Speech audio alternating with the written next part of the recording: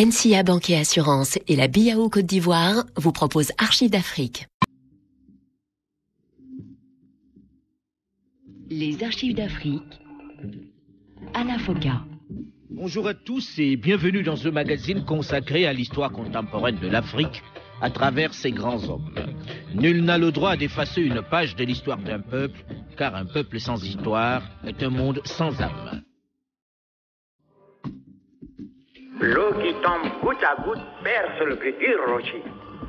Tant que nous serons sur la terre des hommes, il y aura toujours des différences entre les hommes. Il est plus facile de faire la guerre que de faire la paix. Redouté et fortement critiqué de son vivant, le président Félix Houphouët-Boigny, qui a dirigé la Côte d'Ivoire pendant une trentaine d'années, fait partie des chefs d'État des années d'indépendance qui, curieusement, bénéficient au fil du temps qui passe d'un crédit d'admiration et d'amour qu'ils auraient certainement aimé connaître de leur vivant. Hormis le FPI, le parti du président Laurent Barbeau, c'est presque toute la classe politique ivoirienne qui se réclame désormais de sa mémoire.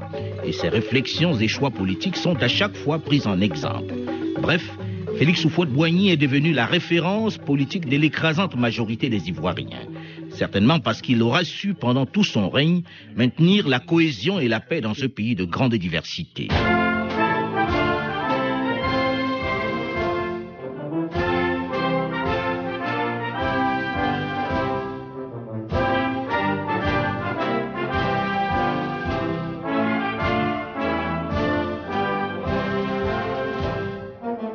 7 décembre 1993.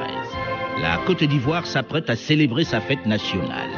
Pourtant, cette cérémonie va être interrompue par une nouvelle très importante. Une nouvelle qui met immédiatement fin aux festivités en cette journée ô combien solennelle. C'était en début d'après-midi, nous allons l'entendre, le Premier ministre ivoirien Alassane Ouattara apparaissait sur les écrans de la télévision nationale pour annoncer la mort du président Félix Houphouët-Boigny. Les émissions de la télévision nationale étaient donc interrompues. Nous allons l'entendre tout de suite. Le Premier ministre apparaissait et disait ceci.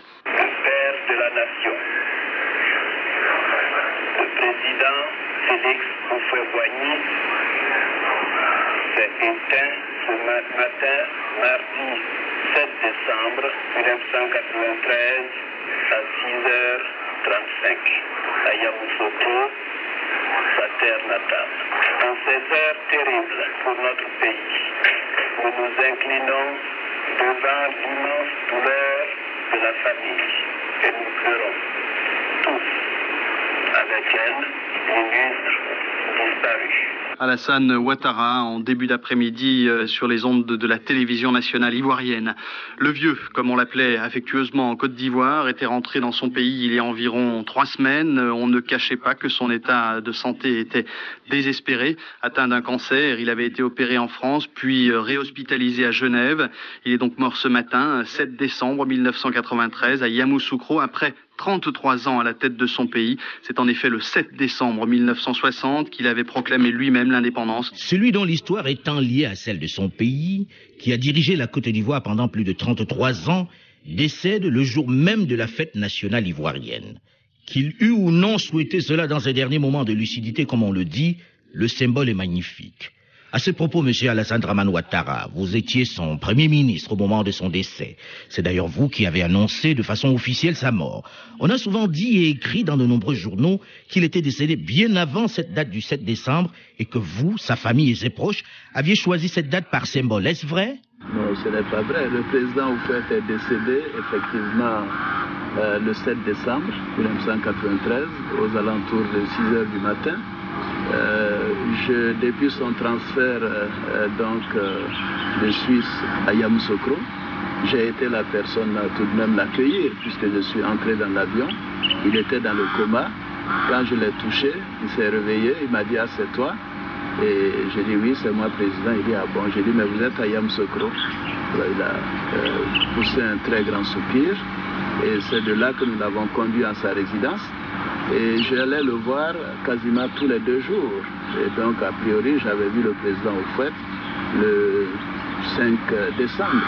Euh, et bien sûr, il était dans des comas où il se réveillait, il se replongeait dans le coma. Et j'ai été appelé euh, donc aux alentours de 6 heures du matin le 7 décembre pour me dire que le président donc, euh, venait de s'éteindre. Et c'est à partir de là que j'ai informé donc, les uns et les autres.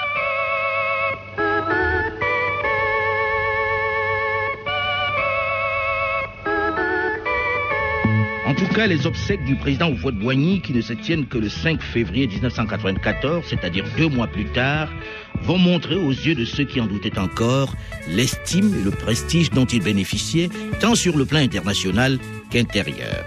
Tout le monde diplomatique est certes représenté comme le veut la tradition, mais de nombreux chefs d'État et dirigeants politiques de premier ordre ont fait le déplacement à Yamoussoukro.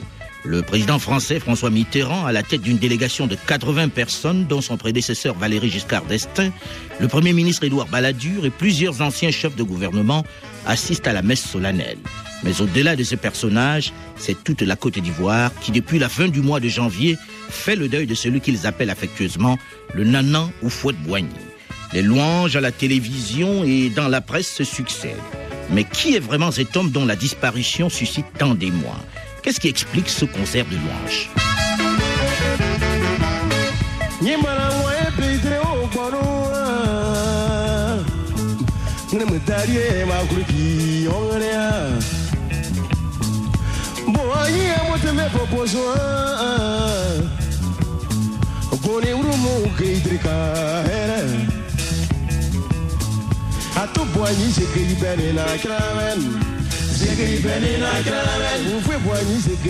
na kramen Segei bene na kramen Atu segei bene na kramen Segei bene na kramen Bene na bene na bene na kramen Segei bene na kramen Ufe boanyi segei bene na kramen Segei bene na kramen Comme le précise sa biographie officielle et comme il devait l'affirmer lui-même en déposant sous serment le 31 mai 1950 devant la commission parlementaire française chargée d'enquêter sur les événements survenus en Côte d'Ivoire, Dia Oufouette Boigny est né le 18 octobre 1905 à Yamoussoukro.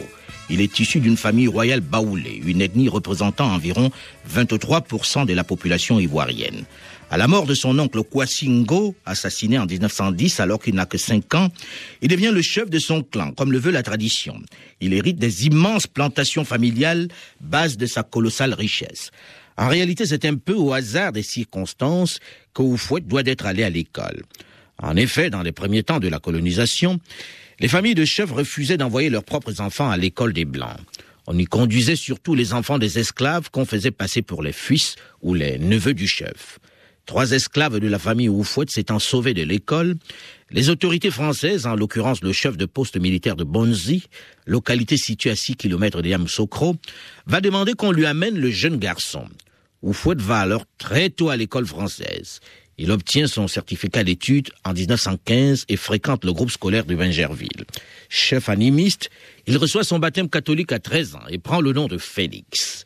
Diplômé de l'école normale William Ponty de Dakar, il refuse de devenir instituteur et s'inscrit à l'école de médecine. Il en sort major de sa promotion en 1925 et commence une carrière de médecin auxiliaire à l'hôpital d'Abidjan. Mais il ne se contente pas d'exercer uniquement son métier. En 1932, le médecin Oufouet Boigny prend la défense des paysans africains d'Abengourou, auxquels le cacao était acheté à un prix dérisoire. C'est le point de départ de sa lutte pour le mieux-être des Africains. Il se lance dans l'action syndicale pour défendre les droits et les intérêts des planteurs victimes des injustices coloniales. Travail forcé et discrimination raciale. En 1938, Félix Oufouet Boigny devient chef de canton. Il prend alors la tête du syndicat agricole africain, le SAA, créé le 3 juillet 1944 et reconnu officiellement cinq jours plus tard par le Comité français de libération nationale. L'efficacité et la crédibilité du syndicat vont se répandre dans toute la basse Côte d'Ivoire comme une traînée de poudre. Elles vont permettre aux membres du syndicat de vendre directement leur production à la Société commerciale de l'Afrique de l'Ouest, la SCAO. Le syndicat confirme sa place de leader au sein de la population, permettant non seulement à ses adhérents d'acquérir du matériel de travail, mais aussi et surtout de leur administrer la preuve de la rentabilité de l'agriculture sans travail forcé. Il recrute des ouvriers payés 10 francs par jour contre 3,5 chez les colons. L'action du syndicat fait tache d'huile et enregistre de ce fait un grand nombre d'adhérents. Cette année 1944 marque un tournant décisif dans la carrière politique d'Oufoué. C'est à cette période qu'il ajoute à son patronyme le surnom de guerre Boigny, qui signifie bélier, un animal qui le symbolisera tout au long de sa carrière et de sa vie.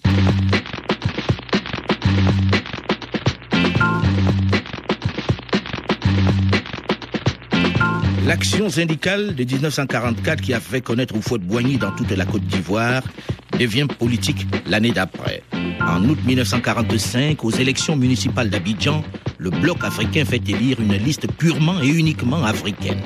Le nationalisme naissant était anti-blanc, fait remarquer le bélier. Houphouët-Boigny devient donc très très populaire, une notoriété qui dérange les autorités coloniales. Elle cherche et trouve les moyens pour casser le militant intrépide.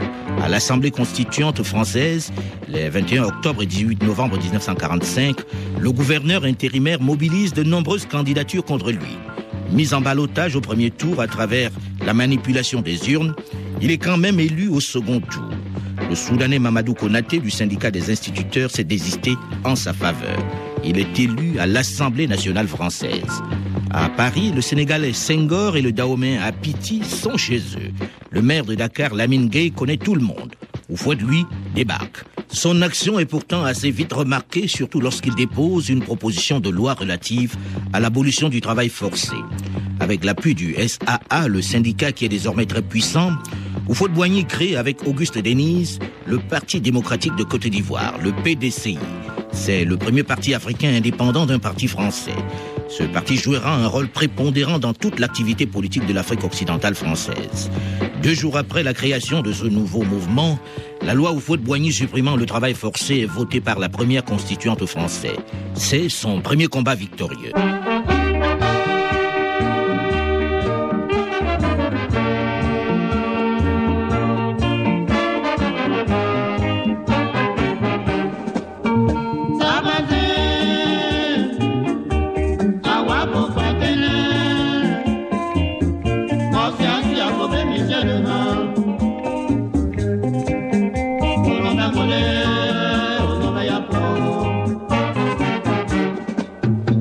Accompagnateur des mouvements historiques, le Bélier de Côte d'Ivoire, après moultes intrigues tendant à boycotter les premières étapes de la décolonisation, parvient à convaincre des élus de signer à Paris en septembre 1946 le manifeste du Rassemblement africain.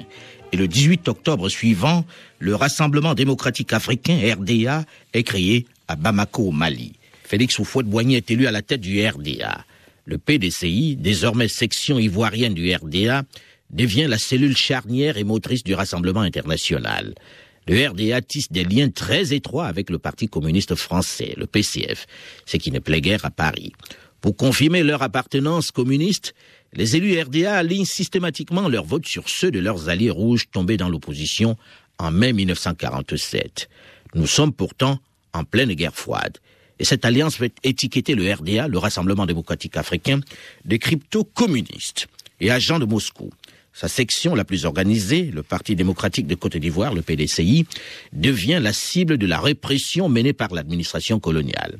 À la tête d'un mouvement qui n'avait pas voulu forcément séditieux, mais qui est désormais considéré comme tel, Félix Houphouët-Boigny se sent piégé. S'il recule, on dira qu'il a trahi et capitulé. C'est probablement pourquoi, à son deuxième congrès à Abidjan en 1949, le RDA persiste et signe en érigeant en principe l'alliance avec les communistes. Pourtant, après quatre ans d'apparentement avec les communistes, le sanglant épisode de Dimbokro, le 20 janvier 1950, qui a fait 14 morts et une cinquantaine de blessés graves, provoque la rupture entre le RDA et le PCF, le Parti communiste français. L'influence d'Houphouët-Boigny dépasse désormais largement le strict cadre ivoirien et même africain. En France, il est l'une des figures politiques de la quatrième République et l'un des partisans de la cinquième. En octobre 1951, Félix Houphouët-Boigny va définir la nouvelle ligne et le grand dessin du PDCI, le développement économique et le progrès politique et social en suivant, je cite, la coopération avec la France. Le PDCI devient ainsi un parti de gouvernement. Houphouët-Boigny va gagner à Paris sa première grande victoire politique en obtenant le vote sans débat d'une proposition de loi déposée par lui et dont il est le rapporteur. Cette loi, appelée bien évidemment loi Oufoué, qui abolit le travail forcé, est accueillie par tous les peuples africains comme une délivrance. En 1956, le RDA, le Rassemblement démocratique africain, triomphe aux élections législatives et son président remplace Léopold Sédar Senghor au sein du gouvernement français. Poussant son avantage, Oufoué infléchit le projet de loi cadre de son collègue Gaston Defer, en sorte que les pouvoirs politiques accordés au territoire le soient au détriment des fédérations d'Afrique occidentale et équatoriale. La raison est simple. Le développement de la Côte d'Ivoire s'est amorcé de façon prometteuse. Alors pourquoi partager la richesse et pourquoi maintenir une fédération dont la capitale est Dakar, à l'avantage manifeste des Sénégalais? C'est le début de la grande querelle avec Léopold Sédar Senghor, partisan du maintien et du renforcement de la fédération, dotée d'un exécutif pour des raisons diamétralement opposées. La querelle n'est pas seulement ivoiro-sénégalaise, elle déchire le RDA. En septembre 1957, au congrès de Bamako, Oufoué et le Gabonais Léon sont les seuls dirigeants à s'opposer au maintien des fédérations et à l'indépendance même à terme. De 1956 à 1959, Oufoué Boigny est de tous les gouvernements six fois ministre, dont quatre fois ministre d'État. Il devient le premier ministre et l'unique ministre africain de plein exercice. Le retour au pouvoir du général de Gaulle, avec lequel il était le seul Africain à entretenir des relations, fait de lui un ministre d'État plus écouté que le ministre de la France d'outre-mer. Écouté, mais pas vraiment suivi. Alors qu'il n'y a que plus de parlementaires africains à Paris, Oufoué reste ministre d'État dans le premier gouvernement de la Ve République. C'est d'ailleurs dans ce cadre que le général de Gaulle, qui effectue sa tournée africaine en campagne pour le référendum de 1958, l'annonce au public d'Abidjan. La communauté est faite. La Côte d'Ivoire et sa capitale, Abidjan, en donnent les preuves magnifiques. À la tête de ceux-ci, je vais nommer Oufouette Boigny. Mais si Oufouet-Boigny est un fervent militant de la communauté française et s'engage résolument dans la campagne avec le général de Gaulle, il n'est pas de ceux qui réclament l'indépendance. Il prône plutôt le principe de la fédération, ce qui entraîne parfois certaines frictions avec quelques nationalistes africains de la première heure, notamment le président Kwame Nkrumah du Ghana, à qui il donne rendez-vous dans une dizaine d'années pour voir ce qu'il aura fait de son indépendance pour laquelle il se bat tant. Le rapport est à peu près le même avec Sékou Touré de Guinée, qui est le premier à dire non à cette idée de communauté. de Boigny se défend à ce sujet quelques années plus tard. Mais j'ai posé la question à Sékou devant ceci. Est-ce que dans le test, le mémorandum que tu as rédigé de concert avec Senghor et, Gabriel Lisette, et qui m'a été soumis avant que vous ne le remettiez, toi à De Gaulle, Senghor à Debré et Lisette à moi, est-ce que cela comportait le mot indépendance? Il a baissé la tête. Il m'a dit non. Il y avait une aspiration à l'indépendance. Je dis, quelle aspiration? Vous avez écrit aspiration à l'indépendance? Ce n'était pas sérieux. Je vous dis aujourd'hui la vérité. C'est moi qui ai fait que tu as pu passer indépendant 58. Mais même si le président Oufoué se défend de n'avoir jamais freiné l'avancée vers l'autonomie totale et d'avoir même été un indépendantiste en cette fin des années 50, il faut reconnaître que ses actions tentent à prouver le contraire. Il ne se gêne d'ailleurs pas pour torpiller la fédération du Mali qui se crée entre le Sénégal, le Soudan, le Dahomey et la Haute-Volta. En réalité, ils sont encore nombreux ceux qui soutiennent qu'il était résolument opposé au processus d'autonomie. Monsieur le Président Laurent Barbeau, vous faites partie de ceux qui l'ont toujours combattu. Vous le connaissiez plutôt bien. Est-ce que selon vous, le président Oufoué était réellement indépendantiste? Toujours lutter contre l'indépendance. Et même en 1946, lors de la création du RDA, son divorce avec Zessou, qui deviendra plus, plus, tard président du Dahomey, c'est parce que Zessou a osé parler d'autonomie. Monsieur Alassane Draman Ouattara, vous qui avez longtemps été son premier ministre et son protégé, ne vous a-t-il pas fait des confidences à ce propos? Non, il m'a indiqué qu'il était pour l'indépendance, mais il estimait qu'il y avait une manière de le faire et qu'il considérait qu'il n'avait pas toujours été en accord avec, euh, avec certains de ses collègues d'alors et que les discussions étaient rudes, les contacts quelquefois difficiles, et que donc, euh, en réalité, il fallait tout simplement, à ce moment-là, prendre une décision dans l'intérêt qu'il avait pour son pays et espérer qu'avec le temps, euh, il aurait raison et qu'il considère qu'il avait pris la bonne décision à ce moment-là. Monsieur Laurent Donavrologo, vous qui l'avez côtoyé pendant plusieurs décennies, qui avez été l'un des membres influents de son parti et même l'un des personnages à qui il se confiait souvent, peut-on vraiment dire qu'il était indépendantiste, le président Félix Houphouët-Boigny? En ce qui concerne le président Houphouët-Boigny, il est vrai d'affirmer que avant les indépendances, en raison des relations particulières qu'il avait avec le général de Gaulle et avec le peuple français, il avait cru, et cela je suis formel, à une communauté franco-africaine, bon, qui n'excluait pas l'indépendance, puisque l'indépendance était euh, prévue pour les peuples africains dans la constituante.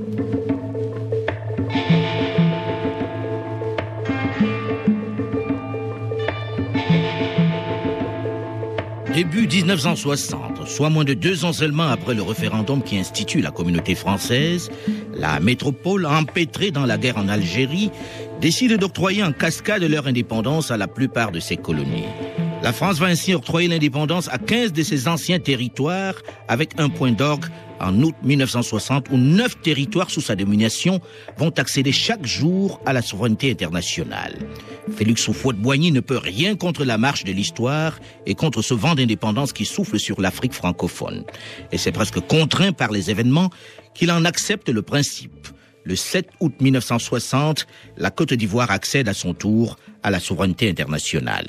En vertu du droit inaliénable qu'a tout peuple de disposer de lui-même, je proclame solennellement, en ce jour béni du 7 août 1960, l'indépendance de la Côte d'Ivoire.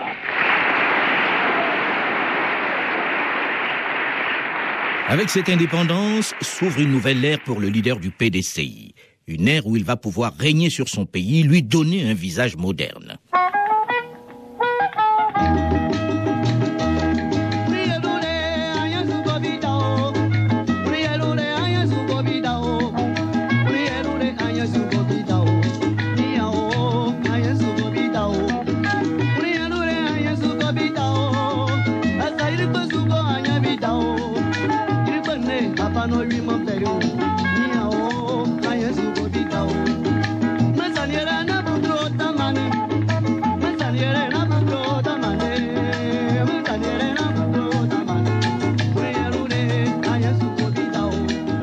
Engagé dans la voie du libéralisme économique, non pas sauvage mais contrôlé, comme le définissait le président Houphouët-Boigny lui-même, la Côte d'Ivoire va connaître une progression remarquable au cours des deux premières décennies de son indépendance.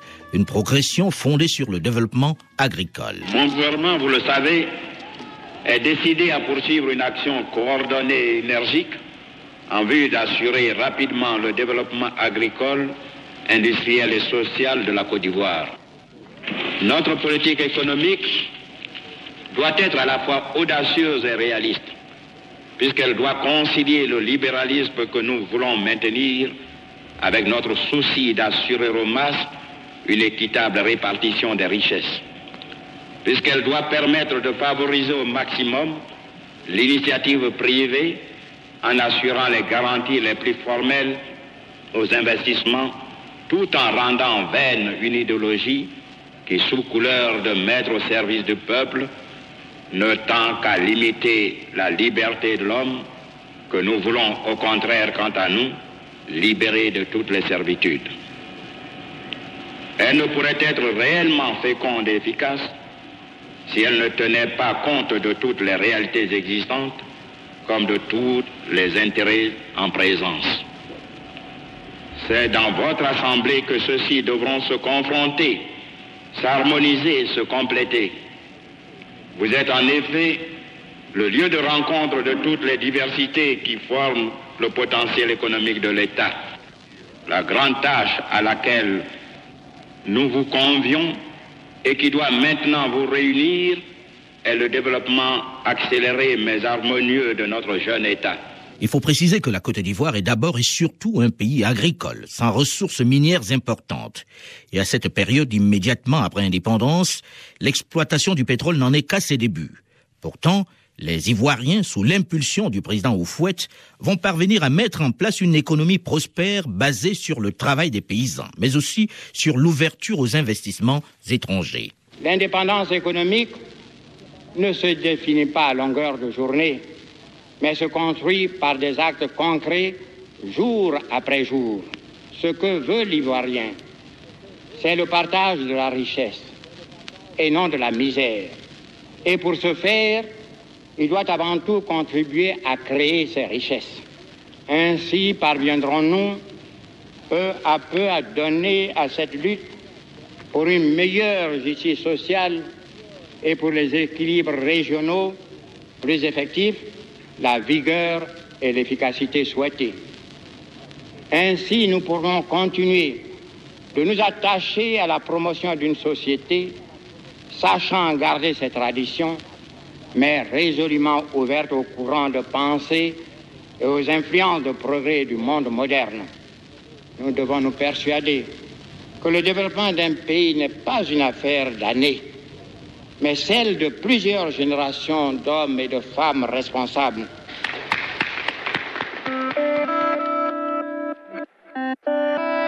L'économie ivoirienne dans ses premières années se porte plutôt bien. Le président Houphouët-Boigny est le seul maître à bord, même s'il garde des liens privilégiés avec Paris. Il sait désormais qu'il doit se consacrer essentiellement à faire de cette jeune nation la vitrine de la sous-région ouest-africaine. Il en va de sa crédibilité. Lui qui n'a pas été tendre avec les indépendantistes, notamment avec son voisin Kwame Nkrumah du Ghana. Nous en parlerons dans une dizaine de minutes dans la suite de cette série que nous lui consacrons, juste après une nouvelle édition du journal sur Radio France Internationale. NCA Banque et Assurance et la BIAO Côte d'Ivoire vous ont proposé Archives d'Afrique.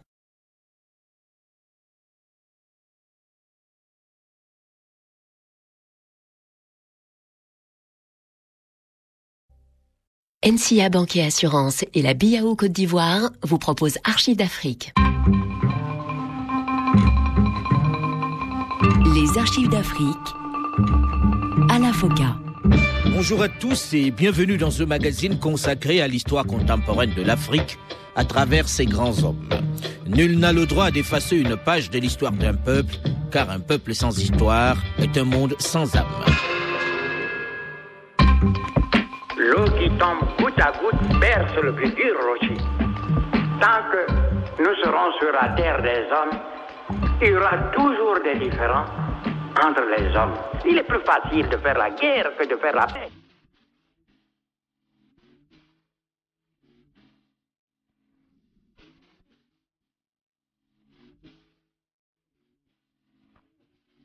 Difficile de parler de l'histoire contemporaine de la Côte d'Ivoire sans évoquer le rôle qu'il y a joué. La Côte d'Ivoire, pendant une trentaine d'années, c'était surtout lui. Son nom lui était tellement étroitement lié qu'à sa disparition, beaucoup pariaient déjà sur le chaos qui allait suivre. Félix Houphouët-Boigny a régné sans partage sur son pays pendant une trentaine d'années. Suite de notre série consacrée pendant ces trois jours au premier président de la Côte d'Ivoire.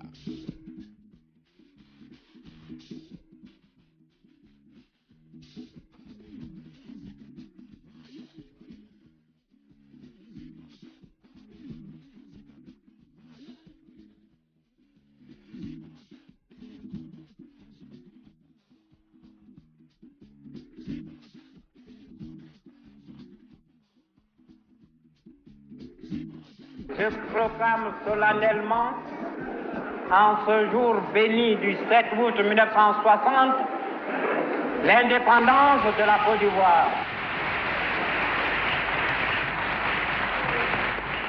Peuple de mon pays, laisse éclater ta joie.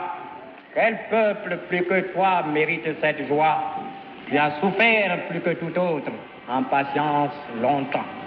Mais ta souffrance n'a pas été vaine. Tu as lutté, mais pas inutilement, puisque la victoire, tu la connais aujourd'hui.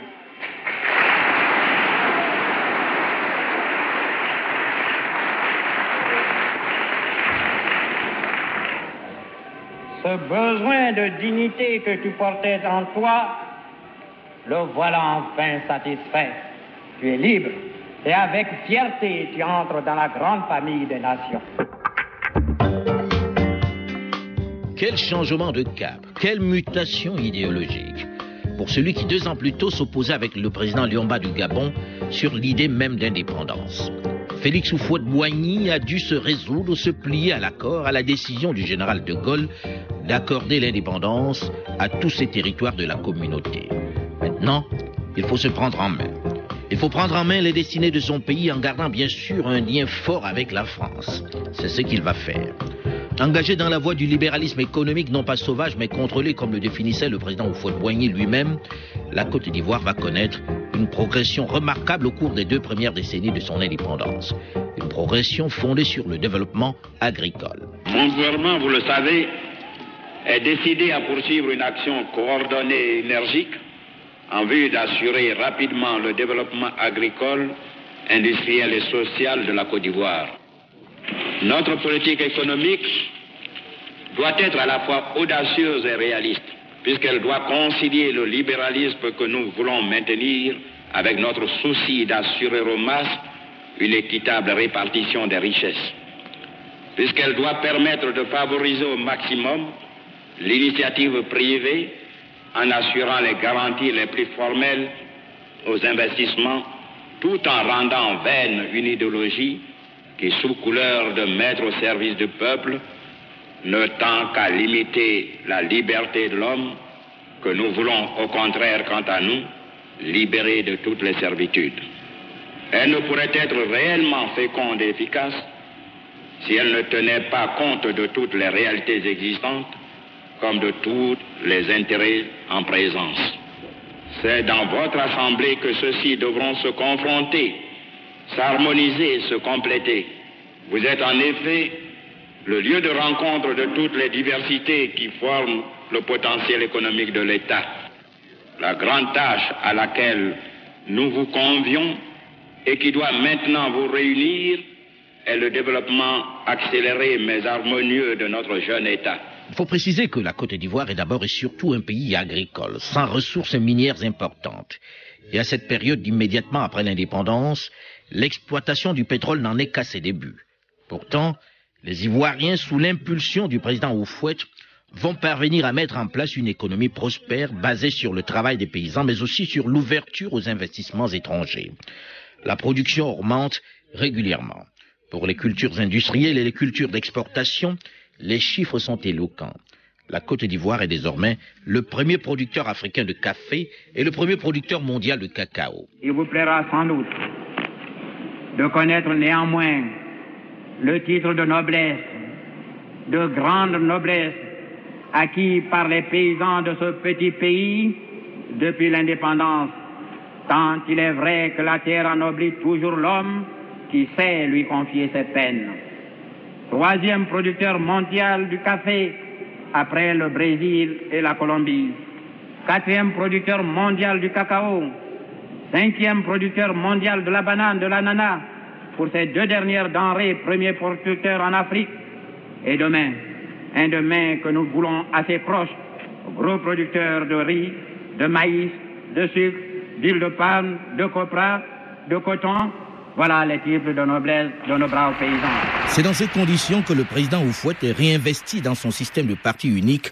en 1975. Si j'ai pu, avec tout mon cœur certes, mais à la mesure des moyens humains, poursuivre depuis l'indépendance, au milieu des crises qui ont ballotté l'Afrique et le monde, une tâche difficile, mais égaltante, avec un succès que certains nous envient, je le dois à vous tous, paysans et citadins, aux techniciens ou humbles travailleurs, compagnons prestigieux de notre lutte émancipatrice ou jeunes militants de notre parti. Je vais encore pendant cinq ans, avec l'aide de Dieu, faire tout ce qui est en mon pouvoir pour que se poursuive notre marche ascendante vers la dignité et le bonheur de chacun. Si sur le plan national, l'économie de la Côte d'Ivoire se porte plutôt bien, sur le terrain international, le président Oufouette-Boigny est tout aussi actif. Il est sur tous les fronts et son action compte tant sur le continent qu'au-delà, avec un maître mot, la paix et le dialogue. Notre proposition n'est pas de celle dont on doit attendre de miracles. Mais y a-t-il d'autres voies, hormis la guerre, qui ne règle rien de nos jours, surtout quand les combats sont soutenus directement ou indirectement, comme c'est bien le cas par les deux camps opposés depuis 1947, au début de notre lutte émancipatrice. Nous avons écrit L'Afrique devra devenir la terre de la réconciliation des peuples. Les hommes comprendront un jour, et le plus tôt sera le mieux, qu'il y a plus de mérite à faire la paix qu'à faire la guerre. Houphouët-Boigny s'investit donc aussi sur le plan diplomatique, notamment dans la sous-région de l'Afrique de l'Ouest. C'est ainsi que pour contrecarrer la fédération du Mali mise sur pied par Senghor et Modibo Keïta, il crée le Conseil de l'Entente qui regroupe d'abord le Dahomey, actuel Bénin, le Niger et la Haute-Volta, actuel Burkina Faso. Le président Houphouët raconte les circonstances de la création du Conseil de l'Entente, qui est le plus ancien organe réunissant des nations africaines. Un conseil qui existe d'ailleurs toujours. J'ai proposé le Conseil de l'Entente, qui pour nous était un programme. Il faut s'entendre d'abord pour s'unir. Et s'unir pour faire quoi? J'ai dit à mes frères, avec un peu d'humour, mais c'est la réalité. S'unir pas pour danser, chanter, on a trop dansé, trop chanté, mais s'unir pour bâtir ensemble une Afrique. Une Afrique libre, indépendante et fraternelle. Pour permettre à tous de se retrouver avec nous, faisant en sorte qu'ils ne se sentent pas en parents pauvres. Effectivement, que représentaient nos frères Senghor, Aïjo et l'abbé Boganda C'était les indépendants d'outre-mer, ils étaient alors véritablement indépendants. Mais nous, nous formons un ensemble de pays conduits par le RDA. Mais pour qu'ils ne se sentent pas en parents pauvres, je vais proposer une formule souple. On ne tiendra compte ni de l'importance de la population, de l'importance de l'économie. C'est sur une base totalement égalitaire que nous allons créer notre Conseil de l'entente. Il y aura des présidentes tournantes. Tous ont accepté. Mais au lieu de faire ce que nous avons fait quelques trois ans plus tard à Addis Abeba, ça veut dire bâtir sur place les statuts du Conseil de l'entente, je leur ai demandé, respectueux des droits de la base, de la masse, de nos militants, de se retourner, exposer ce que nous voulions faire ensemble et que dans un, mois, nous nous retrouvions encore rue de Lille où j'étais comme ministre d'État pour concrétiser cela dans les faits. Malheureusement, j'ai compté sans les diviseurs impénitents. On a entrepris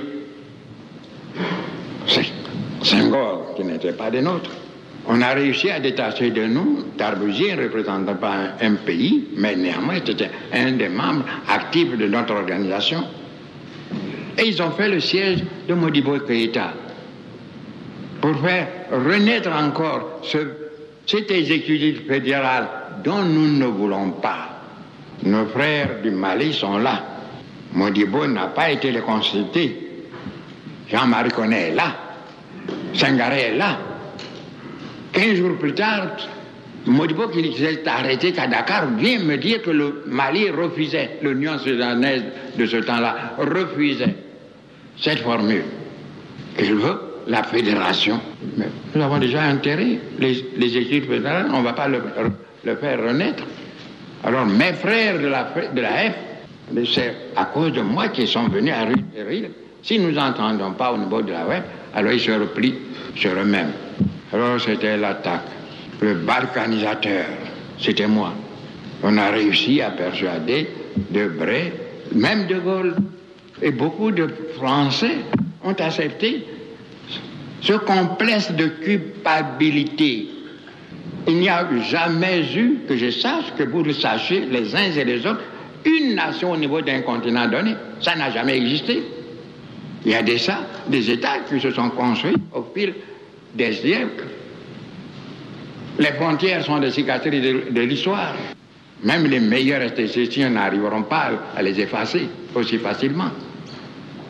Donc, Senghor arrive à inviter des États, RDA, le Bénin, l'ancienne Haute-Volta du Burkina Faso, la Mauritanie, l'Union, le, le, Soudan, l'ex-Soudan français, ils ont jeté les bases d'une fédération. On m'a criblé de tous les épithètes, le diviseur, l'égoïste. J'ai attendu, parce que je savais qu'ils allaient à l'échec. À la deuxième réunion, nos frères du Bénin et de l'ancienne Haute-Volta ont demandé de préciser la répartition des responsabilités au niveau de cette construction nouvelle, le Mali. Ils ont voulu, ils, étaient évasifs. Alors nos frères ont compris que l'entente que je proposais est à base égalitaire. Mais ce qu'on leur propose est qu'on n'ose pas se définir clairement sur, le soleil d'Afrique. Il ne faut pas de l'obscurité comme ça en pleine journée. Hein. Ils se sont retirés. Et le, Niger seul n'a pas été à, Dakar. Attendez. Donc ils sont venus me voir en disant, on voulait abuser de nous, nous te rejoignons. Et nous avons constitué, en mai 59, le Conseil de l'Entente. C'est la vieille, la plus vieille organisation sous-régionale africaine, on peut même dire la plus vieille organisation en Afrique. Ce n'est pas par la taille, mais par l'esprit de solidarité agissante qui fait que, malgré les changements intervenus chez mes partenaires, nous sommes restés ensemble, unis. Monsieur Essiamara, vous avez été pendant très longtemps le chef de la diplomatie du président Oufouet. Qu'est-ce qui expliquait cette opposition entre lui et le président Senghor? Bien sûr, Senghor était un gars, comme Oufouet. Ils ont été les rares Africains qui avaient été membres du gouvernement français, parce que Senghor était secrétaire d'État. Le président Foubani aussi était ministre. Donc il y avait quand même, je dirais, cette complicité en même temps, cette, cette, confrontation d'idées. Vous savez, lorsque Bokassa avait été accusé de tous les crimes, la francophonie s'était réunie à Kigali. Et euh, bien sûr, Bokassa avait nié toute implication dans le massacre des enfants. Et il avait demandé à ce qu'on euh, crée une commission d'enquête. Moufouboyi était prêt à financer la commission d'enquête pour que nous ayons vraiment des éléments objectifs. Et c'est ce qui a été fait. Et à la suite de tout cela, la commission a produit son rapport. Et j'étais donc à Genève lorsque le rapport est sorti. Le ministre des Affaires étrangères du Rwanda est venu avec trois exemplaires pour donner cela aux enfants Et pendant trois jours, je lui ai dit, je crois, une vingtaine de fois le rapport. Et après, il me dit, mais je ne trouve rien concret dans, l'accusation.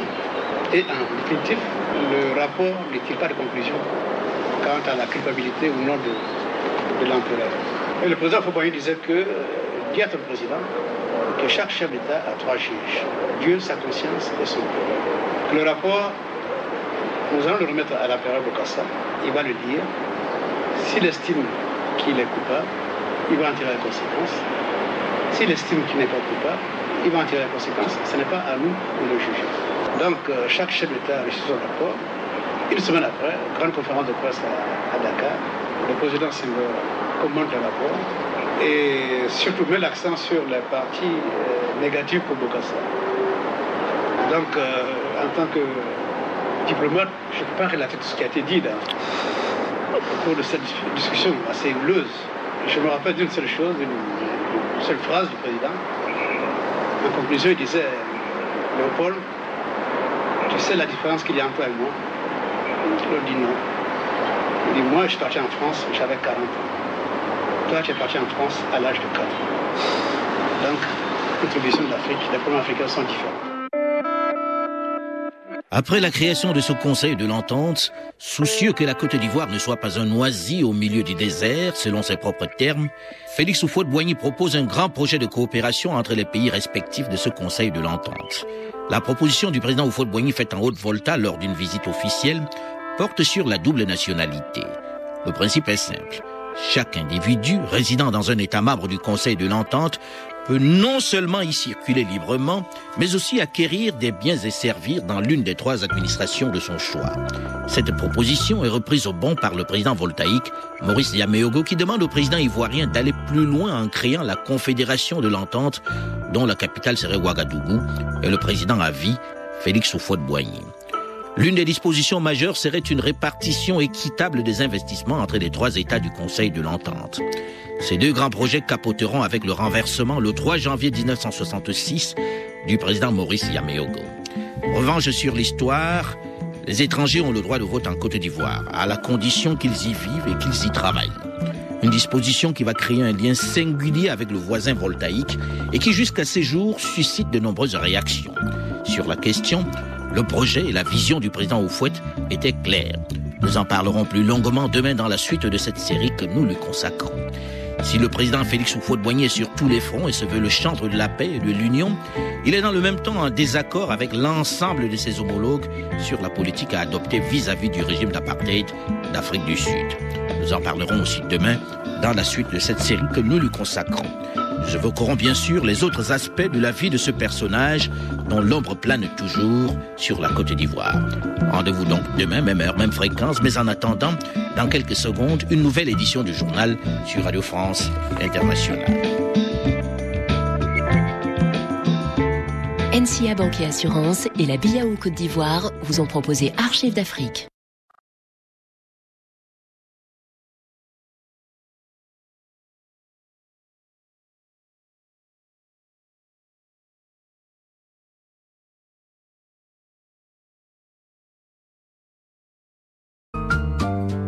NCA Banque et Assurance et la BIAO Côte d'Ivoire vous proposent Archives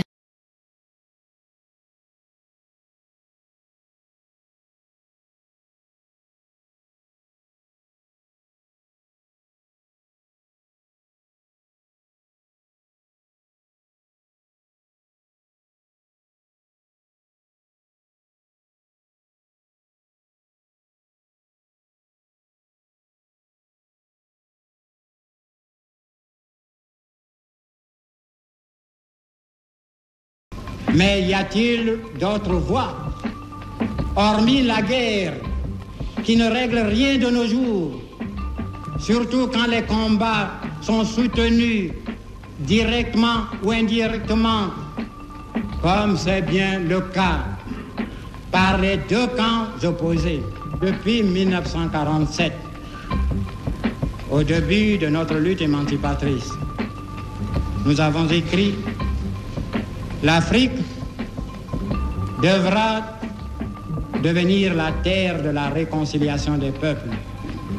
Les hommes comprendront un jour, et le plus tôt sera le mieux, qu'il y a plus de mérite à faire la paix qu'à faire la guerre.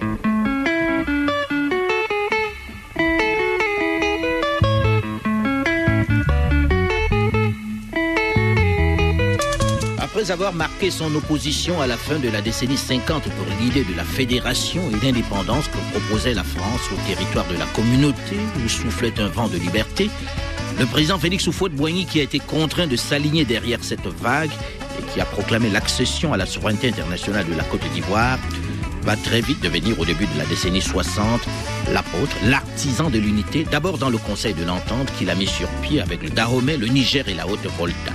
Puis sur le plan continental, faut dire que l'économie ivoirienne connaît un certain succès.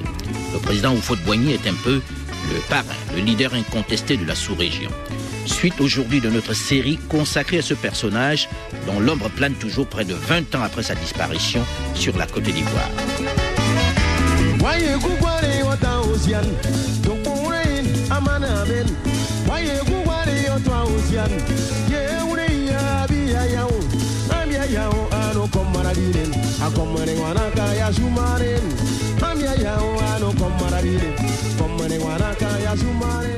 Il vous plaira sans doute de connaître néanmoins le titre de noblesse, de grande noblesse, acquis par les paysans de ce petit pays depuis l'indépendance, tant il est vrai que la terre ennoblit toujours l'homme qui sait lui confier ses peines.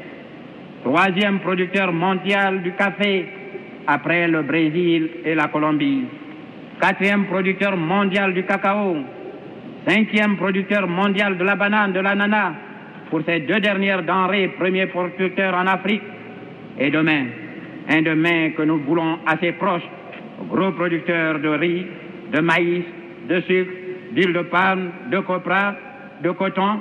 Voilà les types de noblesse de nos braves paysans. L'indépendance a été quelque peu précipitée, est arrivée un peu plus vite qu'il ne le souhaitait, Félix Houphouët-Boigny se mue très rapidement en bâtisseur, en architecte de la Côte d'Ivoire. Il adopte de suite une stratégie économique, le libéralisme planifié, avec un accent particulier accordé à l'agriculture. Stratégie payante puisque les résultats sont positifs. La production augmente régulièrement. Pour les cultures industrielles et les cultures d'exportation, les chiffres sont éloquents. La Côte d'Ivoire est désormais le premier producteur africain de café et le premier producteur mondial de cacao. Un résultat qui va conforter le président Félix Houphouët-Boigny dans la diplomatie active qu'il entreprend. Il est sur tous les fronts. Et sa voix compte. Houphouët-Boigny s'investit donc aussi sur le plan diplomatique, notamment dans la sous-région de l'Afrique de l'Ouest. C'est ainsi que pour contrecarrer la fédération du Mali mise sur pied par Senghor, il crée le Conseil de l'Entente qui regroupe d'abord le Dahomey, actuel Bénin, le Niger et la Haute-Volta, actuel Burkina Faso. Le président Houphouët-Boigny raconte les circonstances de la création du Conseil de l'Entente, qui est le plus ancien organe réunissant des nations africaines. Un conseil qui existe d'ailleurs toujours. Après la création de ce Conseil de l'Entente, soucieux que la Côte d'Ivoire ne soit pas un oasis au milieu du désert, selon ses propres termes, Félix Houphouët-Boigny propose un grand projet de coopération entre les pays respectifs de ce Conseil de l'Entente. La proposition du président Houphouët-Boigny faite en Haute-Volta lors d'une visite officielle porte sur la double nationalité. Le principe est simple. Chaque individu résidant dans un État membre du Conseil de l'Entente peut non seulement y circuler librement, mais aussi acquérir des biens et servir dans l'une des trois administrations de son choix.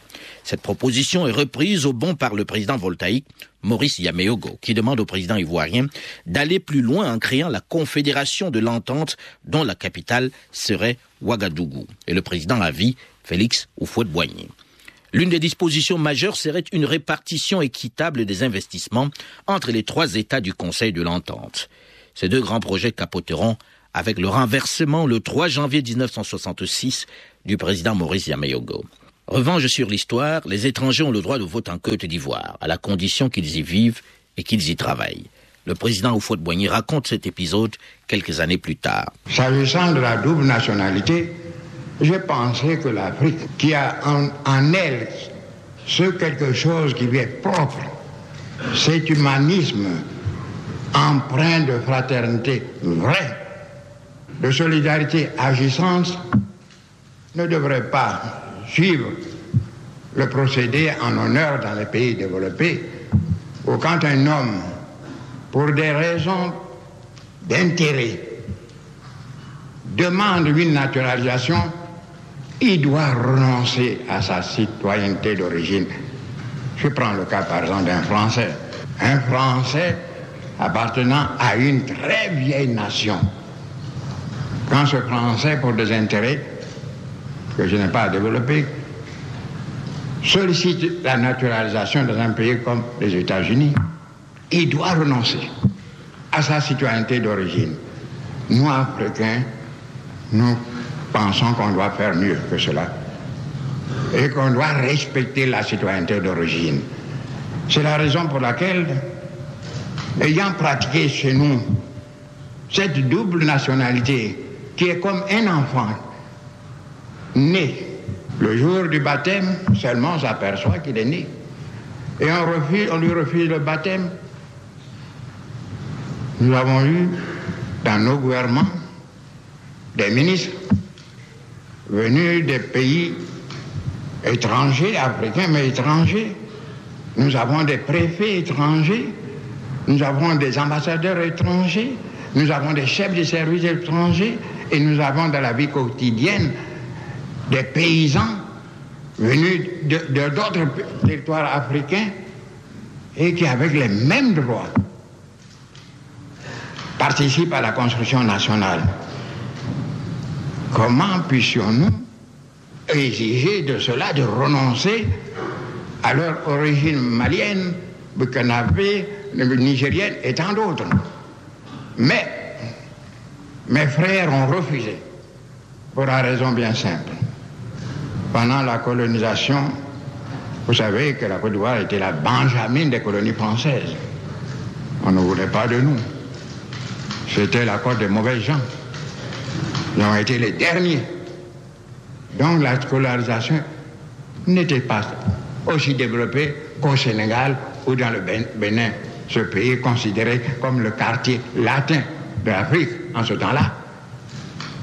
Alors nos jeunes cadres, puisque nous avions à peine 8% de scolarisation, nos jeunes cadres ont eu peur de la présence massive que permettra la double nationalité, la pénétration massive des cadres des pays les plus développés sur le plan de la culture avant notre accession à l'indépendance. Alors qu'en Afrique, les coups d'État militaires se multiplient, le président Houphouët-Boigny, fidèle à ses amitiés, accueille et aide les présidents déchus et leurs familles. Il n'en continue pas moins d'œuvrer pour l'unité africaine. Déjà à l'origine du Conseil de l'Entente, bientôt rejoint par le Togo, le président ivoirien encourage la création de la Communauté des États d'Afrique de l'Ouest, la CEAO, puis la CDAO, la Communauté économique des États de l'Afrique de l'Ouest. J'ai proposé le Conseil de l'Entente, qui pour nous était un programme. Il faut s'entendre d'abord pour s'unir. Et s'unir pour faire quoi? J'ai dit à mes frères, avec un peu d'humour, mais c'est la réalité.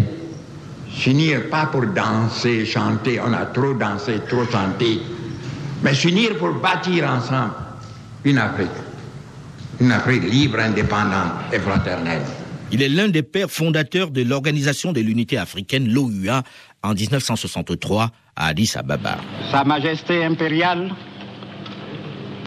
Monsieur le Président, Excellences, Mesdames, Messieurs, après avoir suivi avec un intérêt croissant les déclarations de nos illustres collègues. Je me suis demandé, en venant à cette tribune, s'il ne serait pas infiniment raisonnable de ma part d'y prononcer le discours le plus bref de toute ma carrière politique.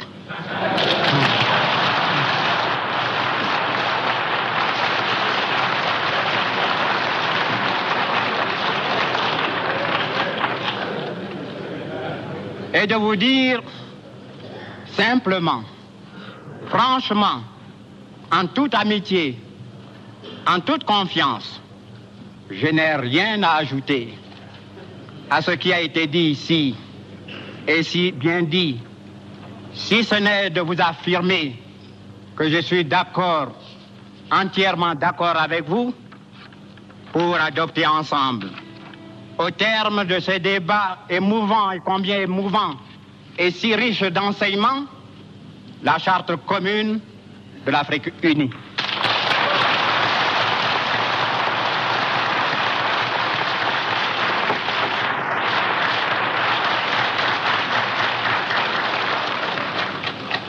Mais je sais que vous, vous ne serez pas d'accord avec moi si j'ajoutais de la sorte.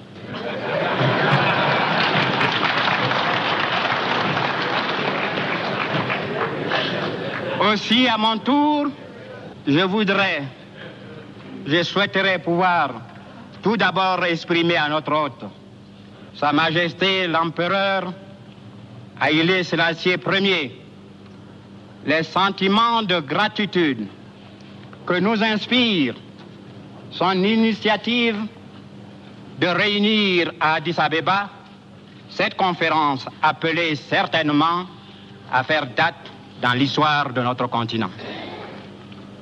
L'avenir dira, nous ne pouvons en douter, les mérites et le rôle déterminant de celui qui, se faisant l'interprète des aspirations à l'unité de tous les responsables africains, de tous les peuples africains, et se situant dans le cours des événements, a pu réussir le premier à réunir tous les responsables de notre continent afin de leur permettre de jeter les bases de notre destin commun.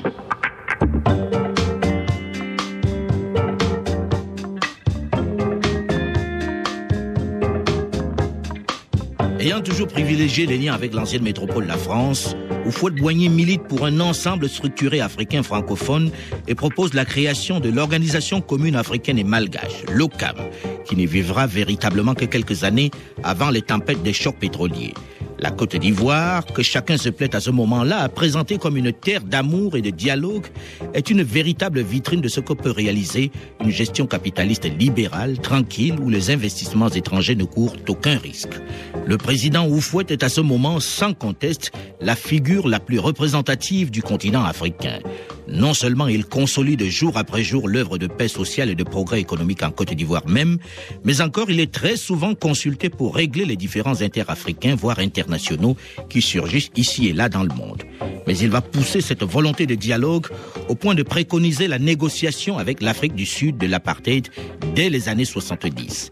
C'est en parlant avec les Sud-Africains que nous parviendrons à leur faire prendre conscience de ce qu'est réellement l'apartheid, dit-il. Insensible aux critiques et aux attaques personnelles que provoque son initiative, il rencontre le Premier ministre sud-africain, Foster. Le président Oufouet est également l'un des premiers chefs d'État africains modérés à entretenir des relations diplomatiques avec l'URSS dès 1967. Celles-ci sont rompues en 1969 pour cause d'ingérence dans les affaires intérieures ivoiriennes. Elles ne reprendront qu'en 1986. Pour son action en faveur de la paix, la 25e conférence générale de l'UNESCO décide en 1989 à l'unanimité la création du prix Félix Houphouët-Boigny pour la recherche de la paix. Un prix destiné à encourager toute personne ou organisme ayant contribué ou recherché une solution en faveur de la paix.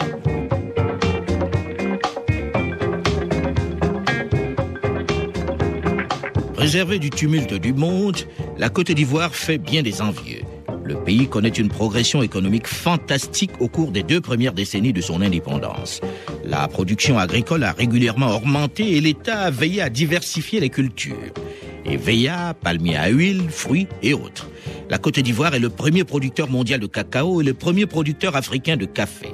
Mais pour se développer, il faut également beaucoup emprunter. Et les deux chocs pétroliers qui vont générer la crise économique mondiale n'épargnent pas longtemps la Côte d'Ivoire. L'inflation, la hausse du dollar, les aléas climatiques et surtout l'effondrement des cours du cacao et du café vont bouleverser les plans et provoquer un véritable coup d'arrêt à la prospérité économique. La chute est d'autant plus sévère que la Côte d'Ivoire est d'abord et surtout un pays agricole sans ressources minières importantes. L'économie ivoirienne ne peut compter que sur les bras de ses paysans et sur la clémence des cieux. Vers la fin de la décennie 80, l'économie ivoirienne entre en récession. Les recettes procurées par le cacao tombent de 1000 à 300 milliards de francs CFA. Le 25 mai 1987, la Côte d'Ivoire se déclare insolvable. Elle porte le fardeau de 220 milliards de francs CFA de dette. Le président Houphouët-Boigny refuse de poursuivre le paiement de la dette de l'État. On assiste à un tollé presque général des créanciers. Le président Félix Houphouët-Boigny va se faire maintenant partout dans le monde l'avocat des pays du tiers-monde et notamment de l'Afrique. Il multiplie les appels à la communauté internationale pour un juste prix des matières premières. Le vieux accuse les spéculations boursières internationales, dénonce aussi la corruption et le fatalisme. On ne regarde pas dans la bouche de celui qui grille les arachides, ajoute-t-il, pour expliquer ce phénomène de corruption. Le vieux sage est furieux. Nous avons tenté, il faut que nous nous disions la vérité pour chercher ensemble des remèdes appropriés. Nous avons décidé,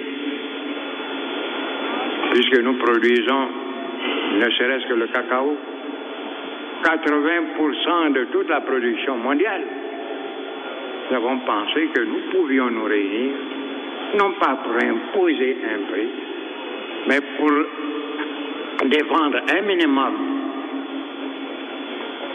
qui récompense le travail de nos paysans. Nous avons échoué.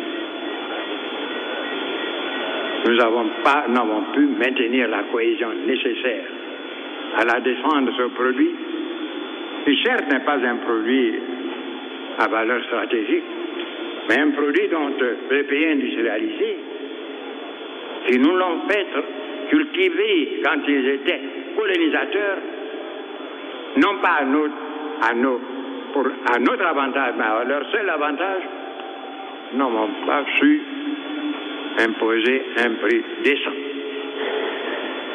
Devons-nous baisser le bras et trouver que tout cela est perdu d'avance Non. Il y a des propositions concrètes. À long terme, et c'est la seule façon de relever le défi du sous-développement. C'est la formation de nos jeunes. Sur le plan scientifique, technologique, de façon à leur permettre de transformer progressivement tout ou partie de nos produits, qu'ils soient miniers, minéraliers, agricoles, pour permettre une discussion valable avec ceux qui auront toujours besoin de ces produits. Avec la crise, la Côte d'Ivoire ne va pas échapper au programme d'ajustement structurel préconisé par la Banque mondiale et le Fonds monétaire international, malgré le milliard 400 millions de dollars que la France accorde comme prêt spécial pour oxygéner l'économie ivoirienne. La crise économique engendre aussi un malaise social et politique. Après la grogne des paysans qui réclament une plus forte rémunération de leurs produits, ce sont toutes les couches sociales qui s'agitent. Des grèves éclatent dans tout le pays. Les universités fondent. Des échauffourées ont lieu avec les forces de l'ordre dont certaines unités se mutinent. Pour la première fois, des manifestants scandent des slogans hostiles au président ivoirien, l'accusant lui et son entourage de corruption et de gaspillage. Le président Oufouette s'énerve contre la couverture des médias. Je vous dirais que, lui-même, créateur du monde, n'a jamais eu l'unanimité de ses créatures. Il peut y avoir quelques dissidences. Vous les, vous vivez constamment dans vos pays. Les grèves sur les grèves, les protestations sur les protestations. Vous ne dramatisez pas. Mais quand il s'agit de l'Afrique, alors c'est la légende. La Côte d'Ivoire est à feu et à sang, Abidjan est à feu, à sang. Vous êtes venus, vous êtes promenés. Est-ce qu'une seule goutte de sang humain a été versée dans ce pays depuis que je suis président? C'est à 11 ans que je fais le serment de ne jamais faire verser une goutte de sang humain dans ce pays. Dieu m'a aidé jusqu'ici à tenir cet engagement. Il y a eu des bousculades, mais allez, oui, qui était chéri sans renseignement, allez demander qui a été blessé pendant ces journées dont vous parlez. Personne. Il faut montrer la force pour ne pas avoir à s'en servir. Je l'ai dit plusieurs fois, si j'avais à choisir entre l'injustice et le désordre, je n'hésiterais pas à choisir l'injustice. Parce que l'injustice, on a le temps de la réparer.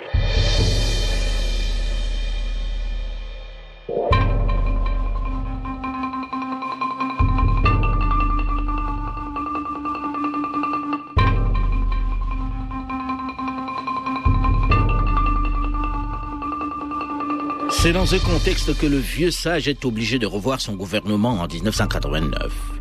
Il nomme à sa tête un économiste, un banquier, aux grandes dames des barons du PDCI, Alassane Draman Ouattara. Sa mission, assainir l'économie ivoirienne et mettre à profit ses connaissances des institutions financières internationales pour trouver des fonds pour regonfler les caisses de l'État. Il doit aussi réorganiser l'administration. On met toute une batterie de mesures en place pour restreindre le niveau de vie des Ivoiriens et les ramener à une certaine austérité.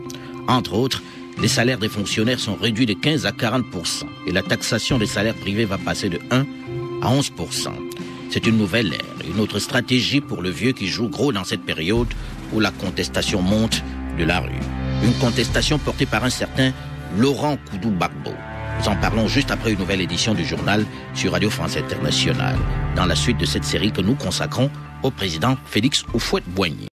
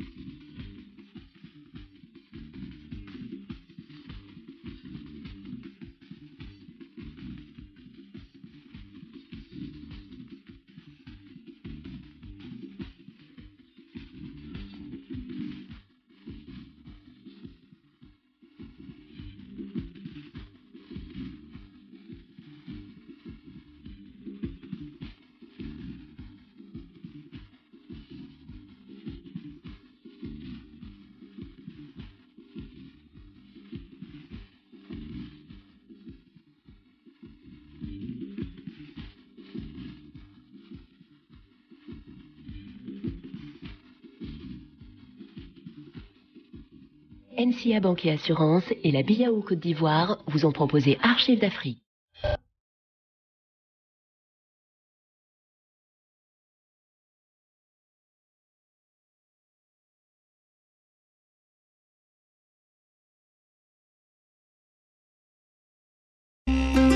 NCA Banque et Assurance et la BIAO Côte d'Ivoire vous proposent Archives d'Afrique. Archives d'Afrique à la FOCA. Bonjour à tous et bienvenue si vous nous rejoignez seulement maintenant dans la seconde partie de ce magazine consacré à l'histoire contemporaine de l'Afrique à travers ses grands hommes. Nul n'a le droit d'effacer une page de l'histoire d'un peuple, car un peuple sans histoire est un monde sans âme. Il faut nous prendre tels que nous sommes et non pas tels que vous vouliez que nous puissions.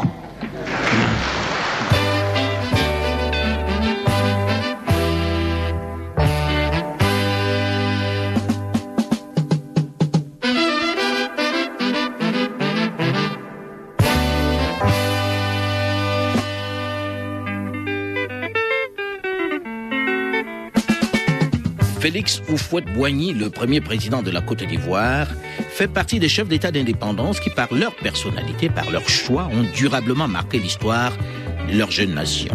Et son influence est tellement forte, tellement marquante, que près de deux décennies après sa disparition, son ombre plane encore sur la Côte d'Ivoire.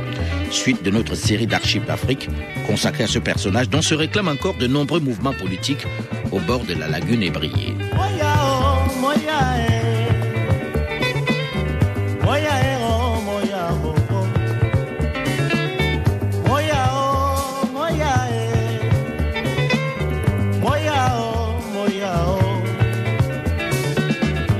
Après plusieurs années de prospérité, de développement économique, notamment dans le domaine agricole, après s'être érigée en vitrine de l'Afrique de l'Ouest, la Côte d'Ivoire, qui est devenue le médiateur incontournable sur tout le continent, avec une diplomatie particulièrement active, connaît à son tour, au début de la décennie 80, une grave crise économique. Malgré les protestations du président Félix Houphouët-Boigny qui se mue en porte-parole des nations pauvres, notamment d'Afrique, le gouvernement est obligé de restreindre de façon drastique son niveau de vie. Rien n'y fait. Cette crise économique va naturellement susciter une grogne sociale. Pour la première fois, les populations scandent des slogans hostiles aux vieux comme l'appelaient affectueusement ses compatriotes. C'est dans ce contexte que le vieux sage est obligé de revoir son gouvernement en 1989. Il nomme à sa tête un économiste, un banquier, aux grandes dames des barons du PDCI, Alassane Draman Ouattara. Sa mission, assainir l'économie ivoirienne et mettre à profit ses connaissances des institutions financières internationales pour trouver des fonds pour regonfler les caisses de l'État. Il doit aussi réorganiser l'administration, mettre toute une batterie de mesures en place pour restreindre le niveau de vie des Ivoiriens et les ramener à une certaine austérité. Entre autres, les salaires des fonctionnaires sont réduits de 15 à 40 et la taxation des salaires privés va passer de 1 à 11 Monsieur Alassane Draman Ouattara, qu'est-ce qui, d'après vous, a fait que dans ces moments plutôt difficiles, le président Houphouët-Boigny ait porté son choix sur vous pour relever l'économie du pays alors que vous n'apparteniez même pas au sérail politique ivoirien Est-ce qu'il vous l'a expliqué avant de faire de vous son Premier ministre? D'abord, euh, j'ai tout de même euh, connu le président Houphouët euh, bien longtemps avant de travailler donc dans mon pays. En deuxième lieu, quand j'étais directeur Afrique au Fonds monétaire international, de 84 à 88, euh, je faisais des escales tous les deux mois à Abidjan et le président Oufouette me recevait à déjeuner ou à dîner. Et par la suite, en tant que gouverneur de la Banque centrale, euh, à partir de 88, j'avais des contacts quasi quotidiens au téléphone euh, et je dirais bimensuels donc à Abidjan. donc ce ne sont pas des relations nouvelles quoi que disent les détracteurs. Et aujourd'hui, quand vous regardez avec le recul, qu'est-ce qu'il fait qu'il vous ait choisi pour prendre en main le gouvernement de la Côte d'Ivoire à ce moment précis? Non, c'est très simple. La crise était économique et sociale. Et il a dit lui-même qu'il avait trouvé le meilleur économiste ivoirien, sinon africain, pour être à ses côtés et juguler la crise. Et c'était donc des rapports euh, de compétence et des rapports de confiance.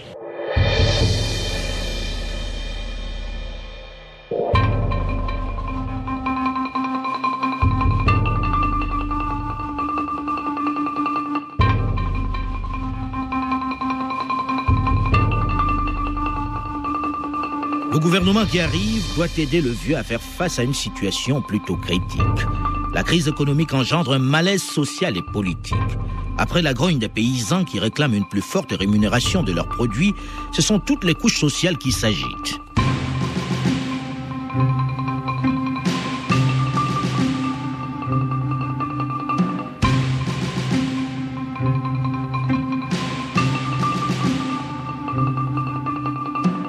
Monsieur le Président Laurent Gbagbo, vous faites partie de ceux qui, dans cette période, dénonçaient la politique économique du président Oufouette. Que lui reprochez-vous exactement à cette période? La politique euh, économique, je la remets en cause. Je l'ai remise en cause depuis toujours. Et aujourd'hui, je la encore, je la remets en cause. D'abord, l'agriculture dans tout pays qui se respecte est faite pour nourrir les habitants du pays. Et c'est le surplus qui est vendu, aussi bien sur le marché intérieur que sur le marché extérieur. Ici, Oufouet n'a fait qu'à valiser l'agriculture coloniale, c'est-à-dire le principal de l'agriculture ici, c'est faire du café et cacao, c'est-à-dire des éléments pour l'exportation et non pas des éléments pour nourrir. Ce qui fait que nous pouvons produire du riz, mais nous sommes réduits à importer du riz alors que nous exportons le café et le cacao dont personne ne se nourrit à l'intérieur. Monsieur Draman Ouattara, c'est vous qui avez hérité dans ces années-là de la gestion de cette économie comme euh, Premier ministre. Comment expliquez-vous, surtout connaissant le personnage, que l'économie ait été aussi mal? Qu'est-ce qui explique cette crise qui a frappé si durement l'économie à la fin de la décennie 80 il y a plusieurs raisons à cela. Euh, tout d'abord, euh, euh, il y avait l'environnement international, la détérioration des termes de l'échange. Il, faut, il faut le reconnaître, ça a été un élément important de la détérioration de la situation globale. En deuxième lieu, et je pense que c'est aussi important, il y avait un manque de coordination l'action gouvernementale. Euh, puisque le président prenant de l'âge et compte tenu de ses méthodes de gestion, c'était un grand homme d'État, euh, méticuleux, euh, en rapport avec chacun des ministres. Et à un moment donné, donc à partir des années 80, il avait quasiment près de 40 ministres et, qui étaient en contact directement avec lui et n'ayant pas, disons, le temps et la force de les coordonner, chacun faisait ce qu'il voulait. Euh, donc il y a eu un problème euh, euh, certain donc, de manque de coordination. Et en troisième lieu, ces problèmes de manque de coordination ont conduit à des problèmes de gouvernance. Et que certains ministres étant laissés à eux-mêmes ont entrepris des projets totalement donc irrationnels, chers pour la Côte d'Ivoire, coûteux, et que nous payons aujourd'hui.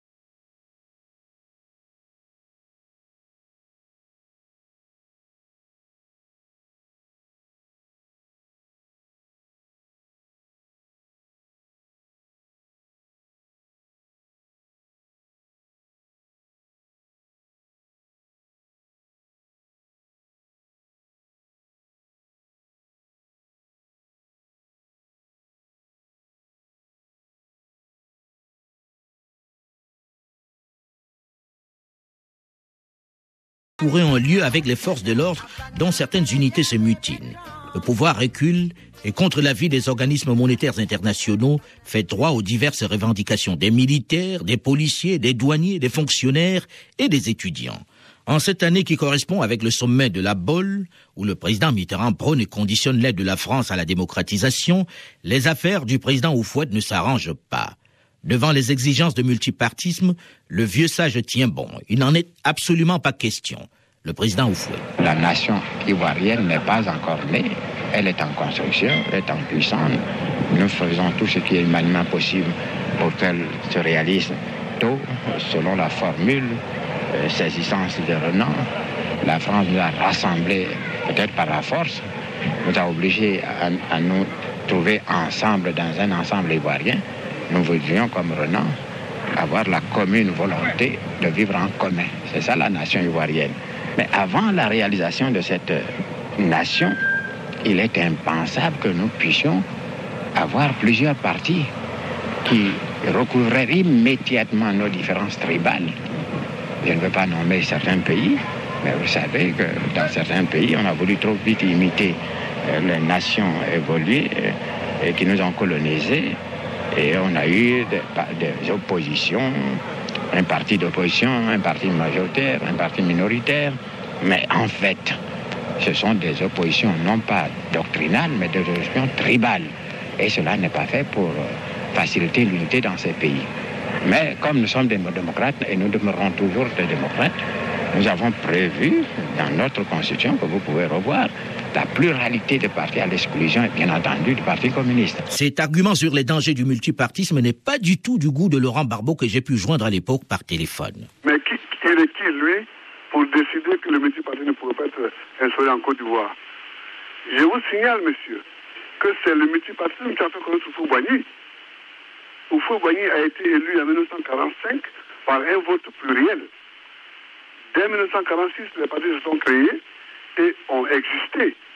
Et pas eu de guerre ethnique.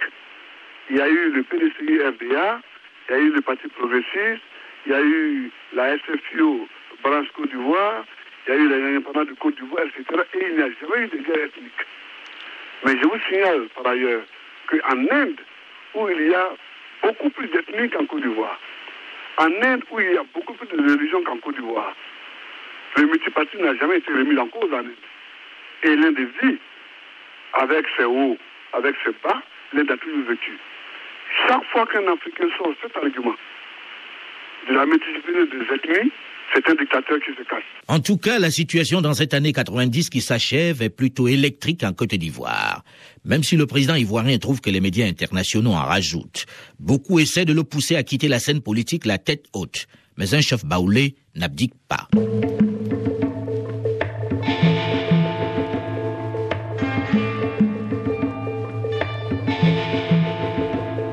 Quelque temps seulement après avoir tenu ces propos qui sont encore aujourd'hui sujets à débat, surtout en cette période quelque peu troublée, le président Oufouette qui disait que le multipartisme ne peut conduire le pays qu'au réveil des conflits tribaux, sentant l'inutilité de lutter contre la contagion après les événements d'Europe de l'Est, où même le mur de Berlin n'a pas résisté, exemple invoqué par les contestataires africains, ordonne au ministre de l'Intérieur de légaliser les formations politiques qui en feront la demande.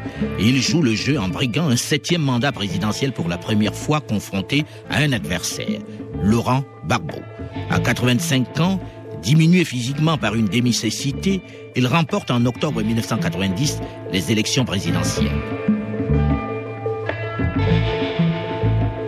Si le président Oufouette-Boigny, dans cette période plutôt difficile, a réussi à remporter un septième mandat présidentiel avec plus de 80% des voix, l'époque bénie où il se faisait élire avec 100% des suffrages exprimés est révolue. Mais le président s'accommode bien des nouvelles réalités politiques et ne va pas pour autant retrouver sa toute-puissance d'antan, puisque désormais la contestation gronde de l'intérieur. Et c'est dans ces années difficiles qu'éclate une autre crise, cette fois plus internationale. Dans cette période de récession, le président Houphouët-Boigny, grand croyant de confession catholique, décide à la surprise de tous de construire à Yamsoukro, son village natal, qu'il veut transformer en capitale politique, une basilique pour honorer Dieu, réplique de Saint-Pierre de Rome, une immense basilique plus importante que celle du Vatican. Les coûts de construction cités dans la presse sont énormes. On parle de plusieurs dizaines de milliards de francs CFA. Devant l'indignation de l'opinion internationale qui trouve cette entreprise déraisonnable dans un pays frappé par la crise, le président Oufouette répond qu'il envisage de la construire non pas avec les deniers de l'État, mais avec sa fortune personnelle et celle de sa sœur. Nous avons proposé, ma sœur et moi, d'offrir à sa sainteté le pape, pour le Vatican, la basilique Notre-Dame de la paix, que elle et moi construisons avec nos propres moyens. J'irai à, Rome proposer à sa sainteté le pape d'accepter notre don. S'il accepte, comme je l'espère, la basilique n'appartiendra plus à la Côte d'Ivoire, encore moins à moi. Mais c'est le pape qui décidera particulièrement de la date de la consécration de la basilique. Nous aurons terminé la construction le 10 septembre. Un argument que la presse et la population ne peuvent accepter, surtout connaissant la situation économique de la Côte d'Ivoire. En tout cas, malgré la critique, le président Houphouët-Boigny va réaliser son projet en construisant l'immense basilique de Yamoussoukro qui sera consacrée par le pape Jean-Paul II en personne. Cette basilique, dédiée à Notre-Dame de la Paix, donne lieu à un lynchage médiatique et politique. Certaines critiques émanant même des milieux catholiques. Le président s'en trouve très affecté, ne comprenant pas une telle réaction du monde chrétien. Le clergé africain n'est pas le dernier à s'interroger sur l'utilité d'une réalisation attribuée au caprice d'un vieillard. Mais cette basilique n'est pas le seul projet que le président nourrit pour sa ville de Yamoussoukro, comme nous allons le voir demain dans la suite et la fin de cette série que nous lui consacrons. Il y sera également question de la rue, de la contestation qui gronde. Mais le vieux bélier a la peau dure. Rendez-vous donc demain, même heure.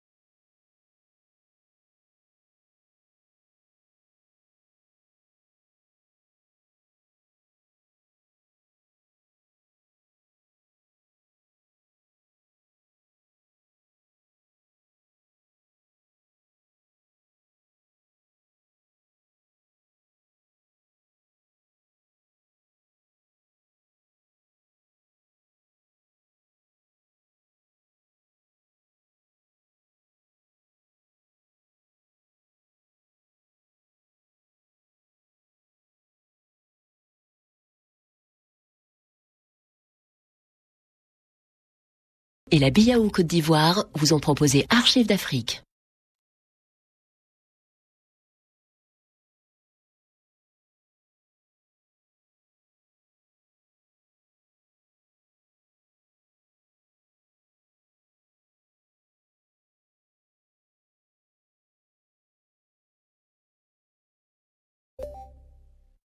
NCA Banque Assurance et la BIAO Côte d'Ivoire vous proposent Archives d'Afrique.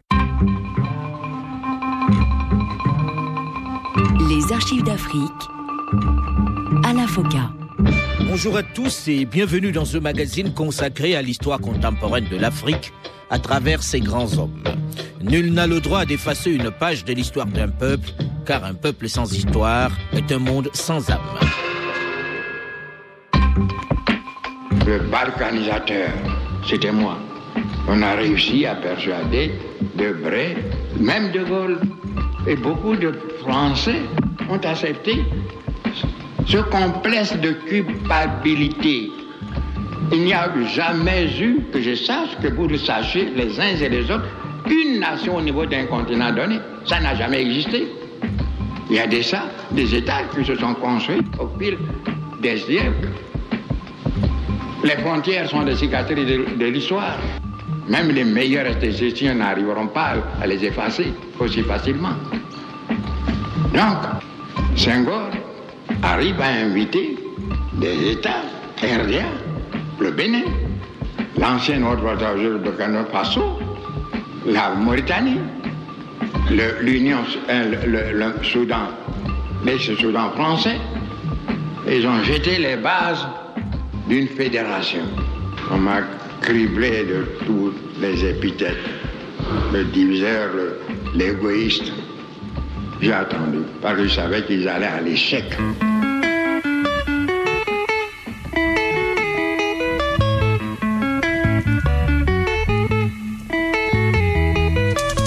Au pouvoir depuis plus de trois décennies, le président Félix Houphouët-Boigny qui est parvenu à faire de la Côte d'Ivoire l'un des pays phares de la sous-région ouest-africaine, qui grâce au libéralisme planifié qu'il a adopté, grâce au fort soutien à l'agriculture qu'il a apporté, grâce également à sa diplomatie active qui a fait de lui l'un des médiateurs et des interlocuteurs indispensables sur le continent, a fait de la Côte d'Ivoire une nation prospère dont il est fier. Il vous plaira sans doute de connaître néanmoins le titre de noblesse, de grande noblesse, acquis par les paysans de ce petit pays depuis l'indépendance.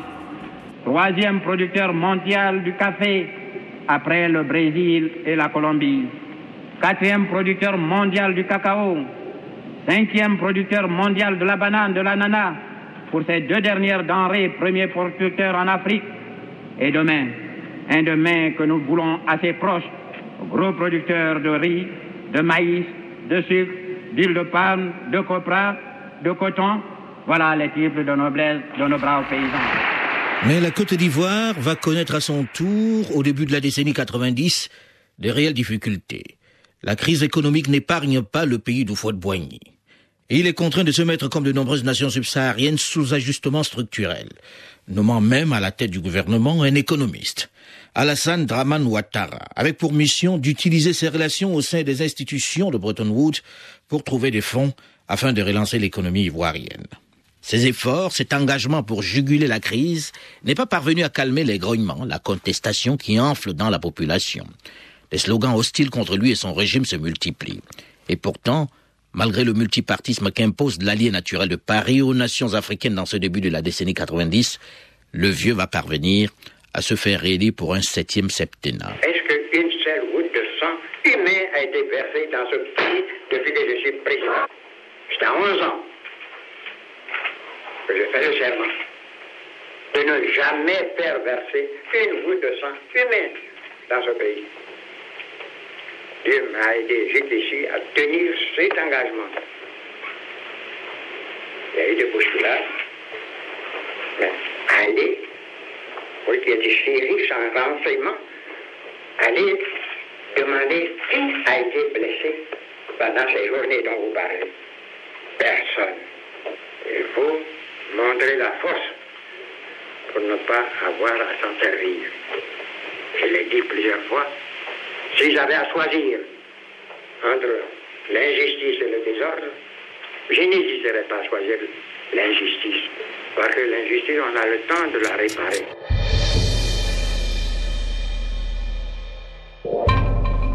Si Houphouët-Boigny est réélu, il ne va pas pour autant retrouver sa toute-puissance d'antan, puisque désormais gronde la contestation de l'intérieur.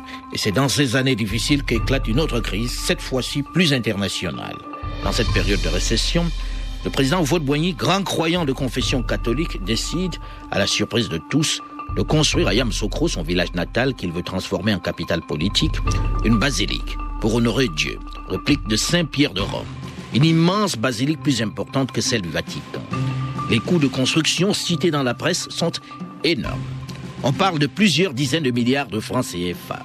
Devant l'indignation de l'opinion internationale qui trouve cette entreprise déraisonnable dans un pays frappé par la crise, le président Oufouette répond qu'il envisage de la construire non pas avec les deniers de l'État, mais avec sa fortune personnelle et celle de sa sœur. Nous avons proposé, ma sœur et moi, d'offrir à sa sainteté le pape pour le Vatican la basilique Notre-Dame de la paix, que elle et moi construisons avec nos propres moyens.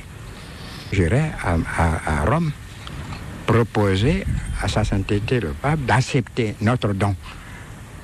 S'il accepte, comme je l'espère, la basilique n'appartiendra plus à la Côte d'Ivoire, encore moins à moi.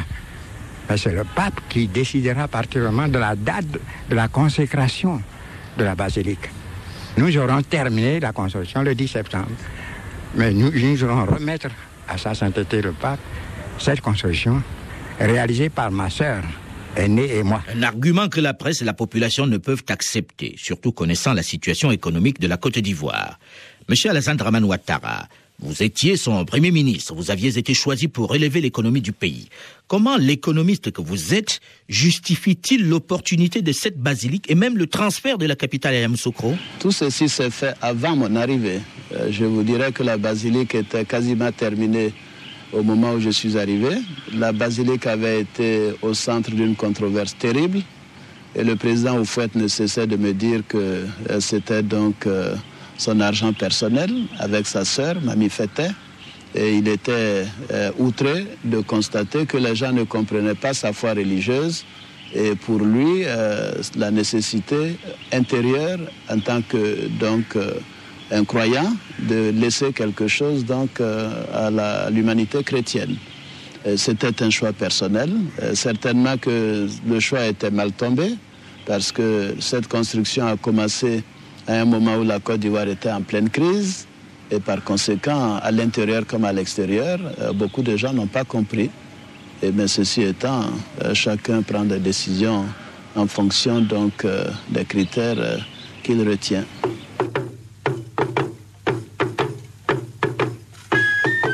En tout cas, malgré la critique, le président Houphouët-Boigny va réaliser son projet en construisant l'immense basilique de Yamsoukro qui sera consacrée par le pape Jean-Paul II en personne.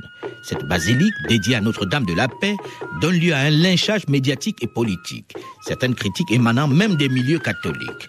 Le président s'en trouve très affecté, ne comprenant pas une telle réaction du monde chrétien. Le clergé africain n'est pas le dernier à s'interroger sur l'utilité d'une réalisation attribuée au caprice d'un vieillard. Le président Houphouët-Boigny a aussi l'intention de faire de Yamoussoukro sa ville natale au centre du pays, la capitale politique de la Côte d'Ivoire. Monsieur Alassane Draman Ouattara, vous qui étiez son premier ministre pendant cette période, comment justifiait-il sa volonté de transfert de la capitale? Qu'est-ce qu'il vous disait à ce propos? Je pense que le président Houphouët euh, va essayer de se référer à l'histoire. Il a vu ce qui s'est passé donc euh, au Brésil avec la construction de Brasilia par rapport à Rio de Janeiro. Il a suivi la création d'Abuja. Et il était toujours, euh, quand j'étais au, département Afrique, donc les années où je n'étais pas encore en Côte d'Ivoire dans l'activité politique, il était toujours euh, très fier de citer ces exemples. Bien entendu, pour des raisons politiques, euh, certains ont voulu lui faire plaisir, ont proposé Yamoussoukro comme étant la capitale administrative de notre pays. Et je pense que le choix était judicieux parce que Yamoussoukro est au centre de la Côte d'Ivoire. Maintenant, des infrastructures sont là, des investissements importants ont été faits. Et en ce qui nous concerne, nous nous pensons qu'il faut transférer de manière effective la capitale de notre pays à Yamoussoukro.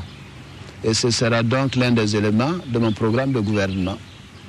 Nous ne pouvons pas laisser une infrastructure aussi importante se détériorer au quotidien.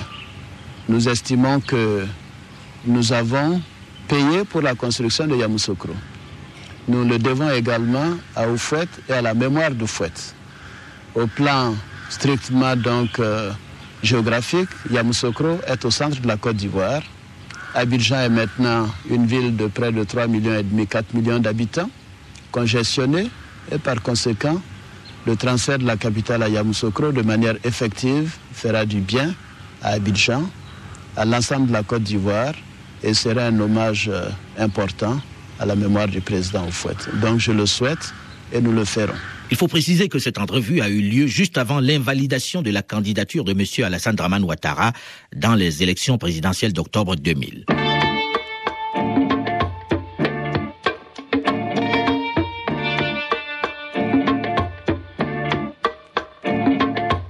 Au début de cette décennie 1990, si le président Houphouët-Boigny tient encore solidement les rênes du pouvoir, malgré le grondement de la rue, sa santé par contre décline. Il doit se rendre très souvent en Europe pour se soigner. Et c'est dans ce contexte que s'ouvre la bataille de la succession. Ce sont tous les journaux qui parlent d'un imminent départ du vieux. Au sein de son propre parti aussi, on spécule, on se bat. Les rumeurs donnent comme favori Philippe Yassé, le président de l'Assemblée nationale. Selon la Constitution, en cas de vacances, c'est lui qui doit officiellement prendre les rênes du pays. Un article 11 que conteste d'ailleurs le principal opposant Laurent Barbeau, qui parle de pouvoir régalien. Sous la pression constante de la presse internationale et des rumeurs en tout genre, le président Houphouët-Boigny, qui déteste parler de sa succession, est amené à répondre aux nombreuses questions qu'on lui pose. Et retenez bien cela, ce jour. Je ne suis pas candidat à la présidence à vie de la République de Côte d'Ivoire. Je compte sur vous pour me permettre de me retirer un jour à Yamoussoukro. Une réponse qui n'arrête pas les spéculations, au contraire. Alors, le président Oufouette, qui n'a pas dit son dernier mot, entreprend même un changement à la tête de l'Assemblée nationale. Le président Yassé, l'ex-dauphin, est remplacé par Henri Conan Bédier. Et le président Oufouette dit la loi. Nous venons de voter la loi qui fait du président de l'Assemblée le président intérimaire en cas de vacances du pouvoir. Il dispose de 45 à 60 jours pour procéder à des élections présidentielles. Pendant ces 45 jours, il est à la fois président intérimaire du gouvernement et président du parti. Pour n'avoir pas compris cela au Cameroun, nous avons failli, on a failli. J'étais le pays dans une guerre civile. Quand notre collègue, notre ancien collègue, Aïjo, a démissionné, mais tout en voulant garder la présidence du parti, c'était le départ d'un malentendu qui a été tragique, malheureusement. Nous, nous voulons éviter tout cela. Donc, il est clair qu'en cas de vacances, c'est le président de l'Assemblée nationale qui assume l'intérim pour 60 jours, au cours desquels, à la fin de, de, ces 60 jours, il doit procéder à l'élection du nouveau président. Il peut être candidat. En plaçant Henri Conan Bédier à la tête de l'Assemblée nationale, le président Oufouette met en disgrâce le président Yassé qui jusque-là était pressenti comme dauphin. Il sanctionne ce qu'il considère comme une impatience de celui-ci à le voir partir rapidement. Monsieur Laurent Donavologo, ex-ministre et secrétaire général de l'ancien parti unique, le Parti démocratique de Côte d'Ivoire, nous explique les raisons de la déchéance du président Yassé. Le président Yassé a été pendant 20 ans secrétaire général du parti unique, le PDCI, en même temps qu'il était président de l'Assemblée nationale. le président Yassé a été très puissant dans ce pays parce que le président Oufouette-Boigny se situait au-dessus de tout cela. Et puis le président Oufouette-Boigny, père fondateur du PDC-RDA, s'est aperçu de quelques dérives de son parti dans les années 80.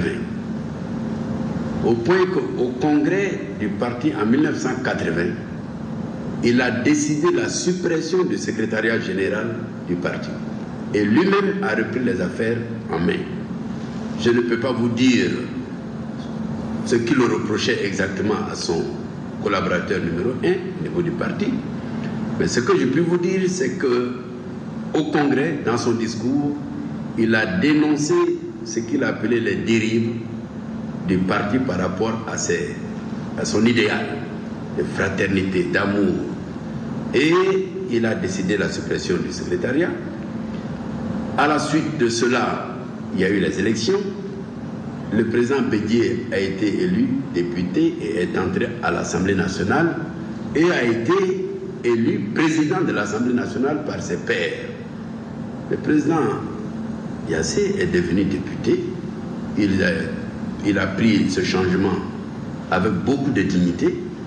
Il est devenu député comme tout le monde et maire de, sa petite ville jusqu'au jour où le président Oufouette-Bonny, parce que impressionné par ce comportement de dignité et de fidélité, l'a nommé président du Conseil économique et social, c'est-à-dire troisième personnage de l'État. Voilà ce qui s'est passé. Nous n'avons pas eu euh, de problème particulier avec ces changements et je crois que le président Yassé a su bien les gérer. D'ailleurs, lors de son enterrement, j'ai eu l'honneur de faire les discours à Jacquesville, sa ville natale, et j'ai rendu hommage à ses qualités et j'ai souligné cette dignité dans ce comportement qu'il avait géré de façon parfaite, en restant fidèle au président Fouette Boigny et en restant son ami jusqu'à la mort. Il a été dit assez souvent que c'était parce qu'il s'était très tôt réclamé comme le dauphin et qu'il a voulu le punir. Bon, c'est une interprétation effectivement qui a été dite et même écrite. Il est vrai que le président Oufouette Boigny était un homme euh, de grande sagesse, mais c'était aussi un chef, au sens plein du terme.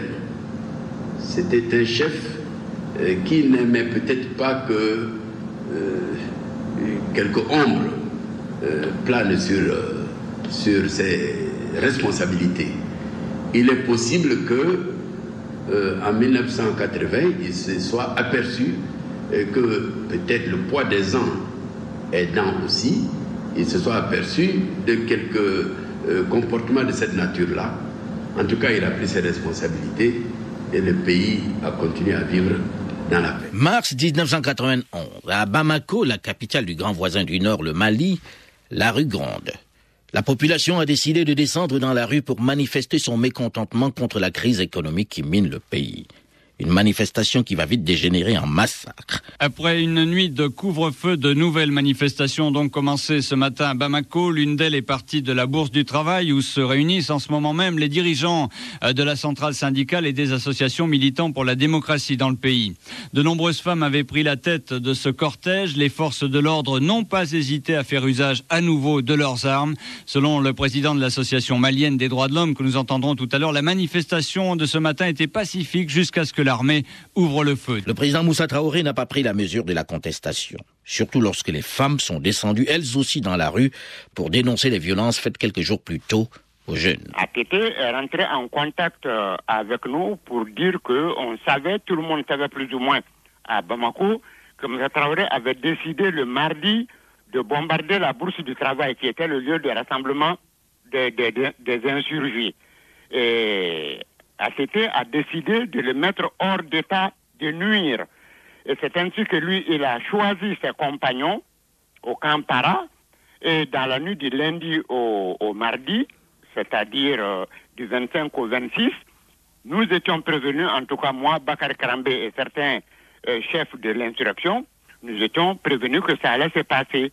Et quand ils sont montés à Koulouba, ils ont trouvé le lieutenant-colonel Oumar Diallo, dit Burus, qui était l'officier d'ordonnance de Moussa Traoré, qu'ils avaient préparé auparavant, qui a accepté de s'associer à eux.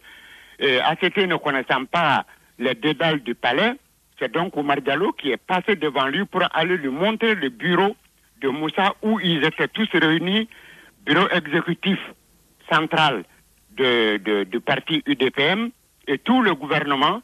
Ils étaient réunis là en train de prendre les ultimes décisions. Et chose très curieuse, c'est le fils de Moussa Traoré, Idi, qui faisait le secrétaire de séance à cette réunion ultime.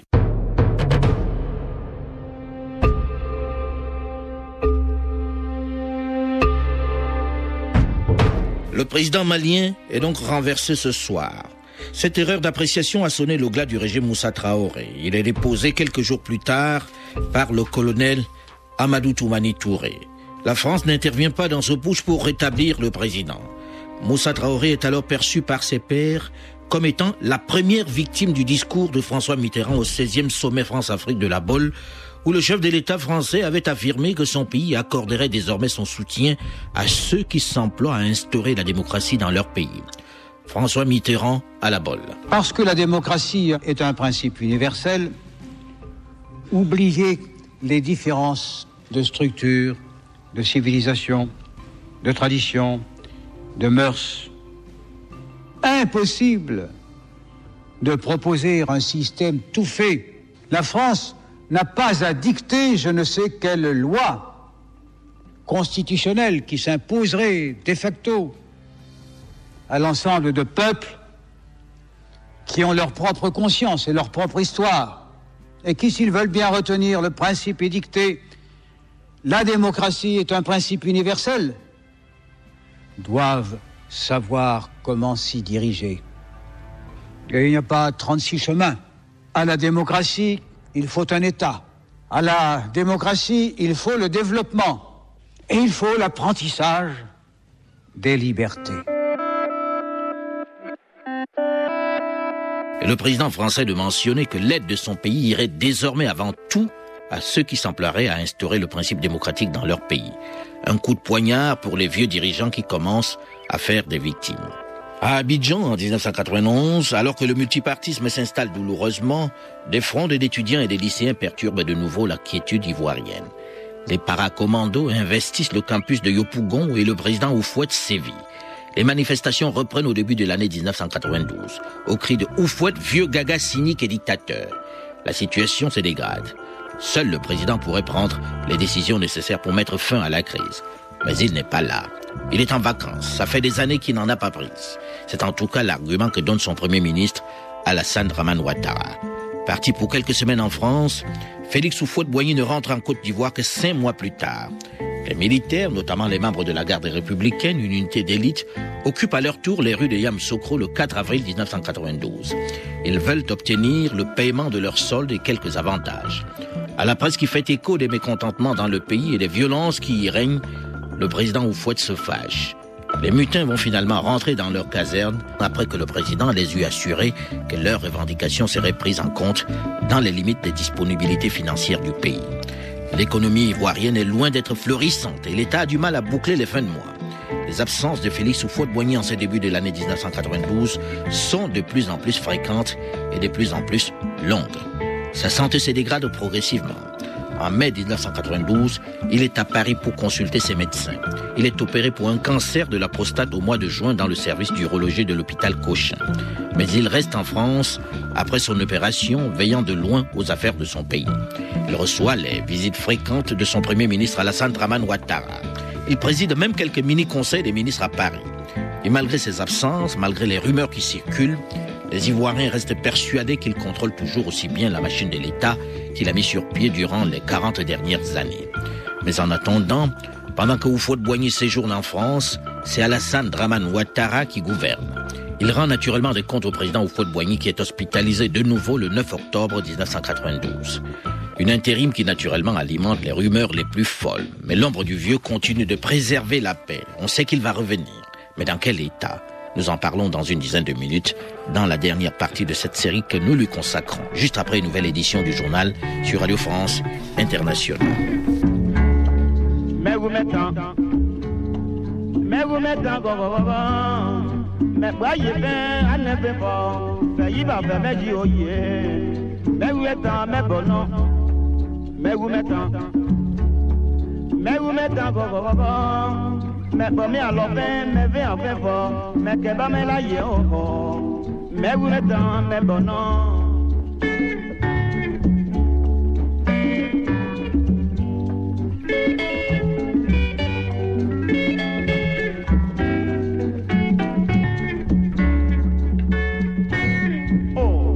temps est bon non. Mais pas bien y est fin, mais n'est fin, mais fait bien fin, mais alors fin, oh yeah, mais vous êtes à bon non. Mais vous êtes temps, mais vous êtes temps. Mais pas y est fin, à ne fait pas, fait y va faire mes girons. Mais vous êtes temps, mais bon non, mais vous êtes temps, mais vous êtes temps. Mais pas bien alors fait, mais bien fait pas, mais que va la yo. Mais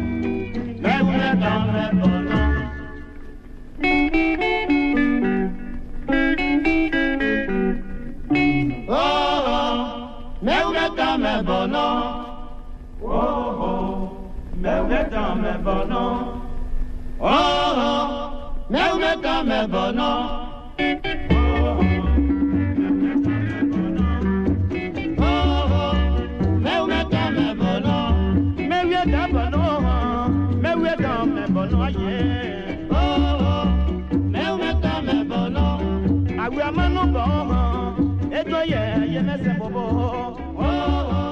NCA Banque et Assurance et la BIAO Côte d'Ivoire vous ont proposé Archives d'affaires.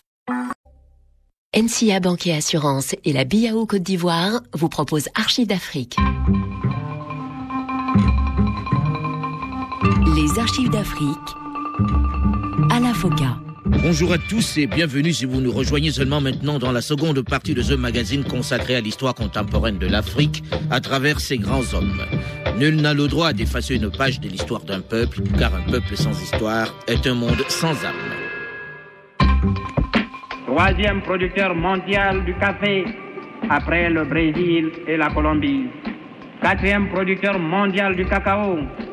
Cinquième producteur mondial de la banane, de l'ananas pour ces deux dernières denrées, premier producteur en Afrique. Et demain, un demain que nous voulons assez proche, gros producteur de riz, de maïs, de sucre, d'huile de palme, de copra, de coton.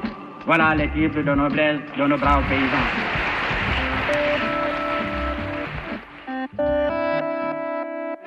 L'agriculture, c'était son credo, c'était son arme pour développer la Côte d'Ivoire, qui n'avait ni pétrole ni diamant dans son sous-sol. Et c'est en s'appuyant sur elle qu'il a fait de son pays l'une des principales vitrines de l'Afrique de l'Ouest. Mais la longévité et les crises économiques qui, au début de la décennie 80, frappent pratiquement toutes les nations du continent, vont fragiliser son régime. Et l'ouverture démocratique qu'impose Paris au début de la décennie 90 va l'affaiblir un peu plus puisqu'il connaît à partir de cet instant la grogne d'une partie des Ivoiriens et les contestations de la rue poussées par une opposition qui s'organise.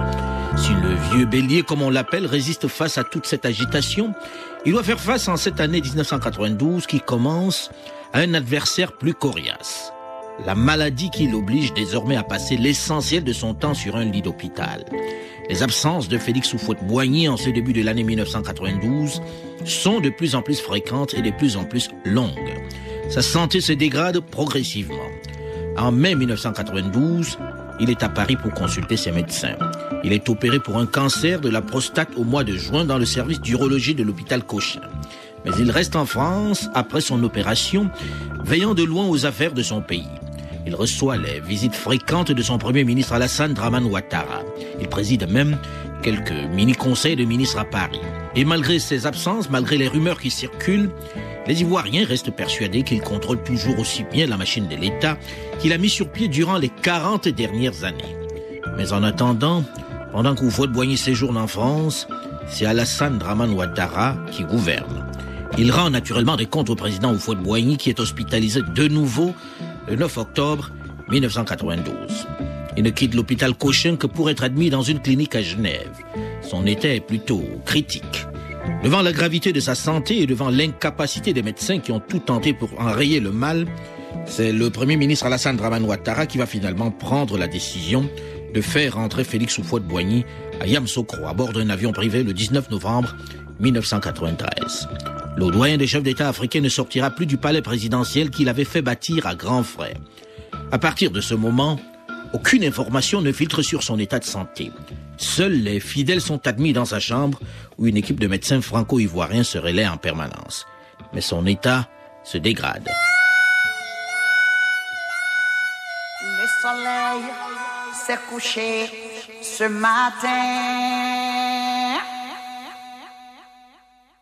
et tous les drapeaux ont baissé les yeux.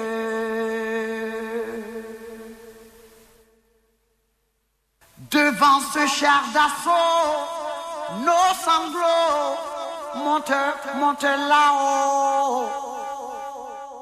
Seul dans son linceul, orange, blanc, vert. Orange, blanc, vert. Où fue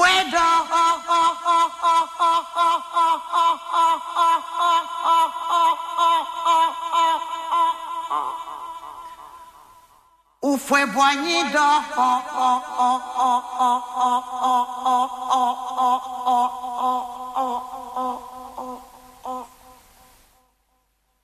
Nous sommes le 7 décembre 1993. La Côte d'Ivoire s'apprête à célébrer comme chaque année sa fête nationale.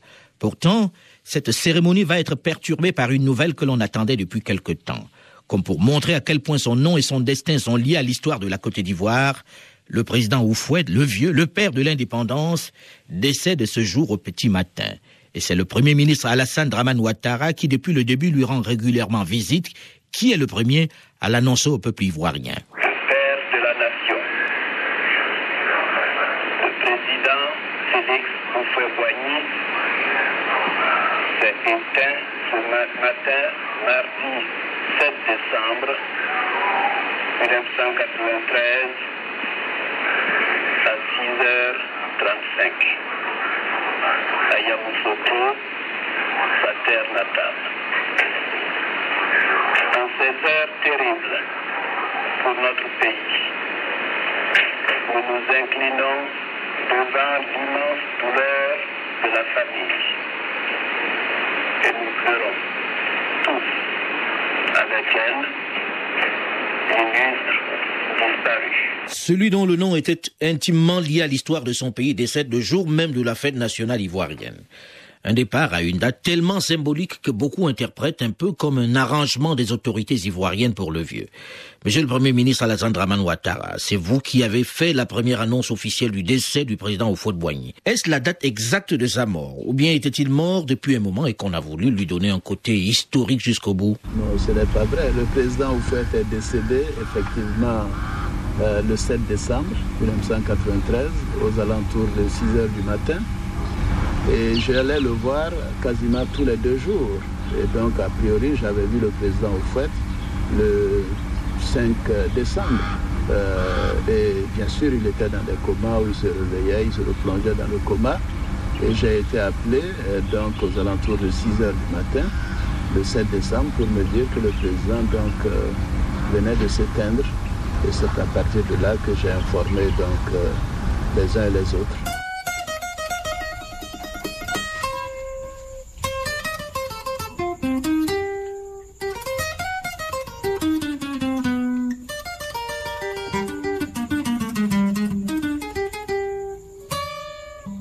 De l'ensemble de la Côte d'Ivoire, même si on s'y attendait depuis quelque temps, et même si une certaine rumeur courait sur la mort du vieux que l'on cacherait à la population, l'annonce est accueillie avec une certaine douleur.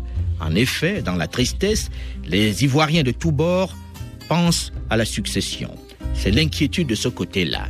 Même si la Constitution à ce propos est assez claire, l'on entend quelques voix remettre certains points en cause. De plus, on redoute un coup de force de quelques barons du régime pas vraiment satisfaits par les dispositions constitutionnelles. En réalité, même mort, l'âme de Houphouët-Boigny continue de planer sur la politique ivoirienne.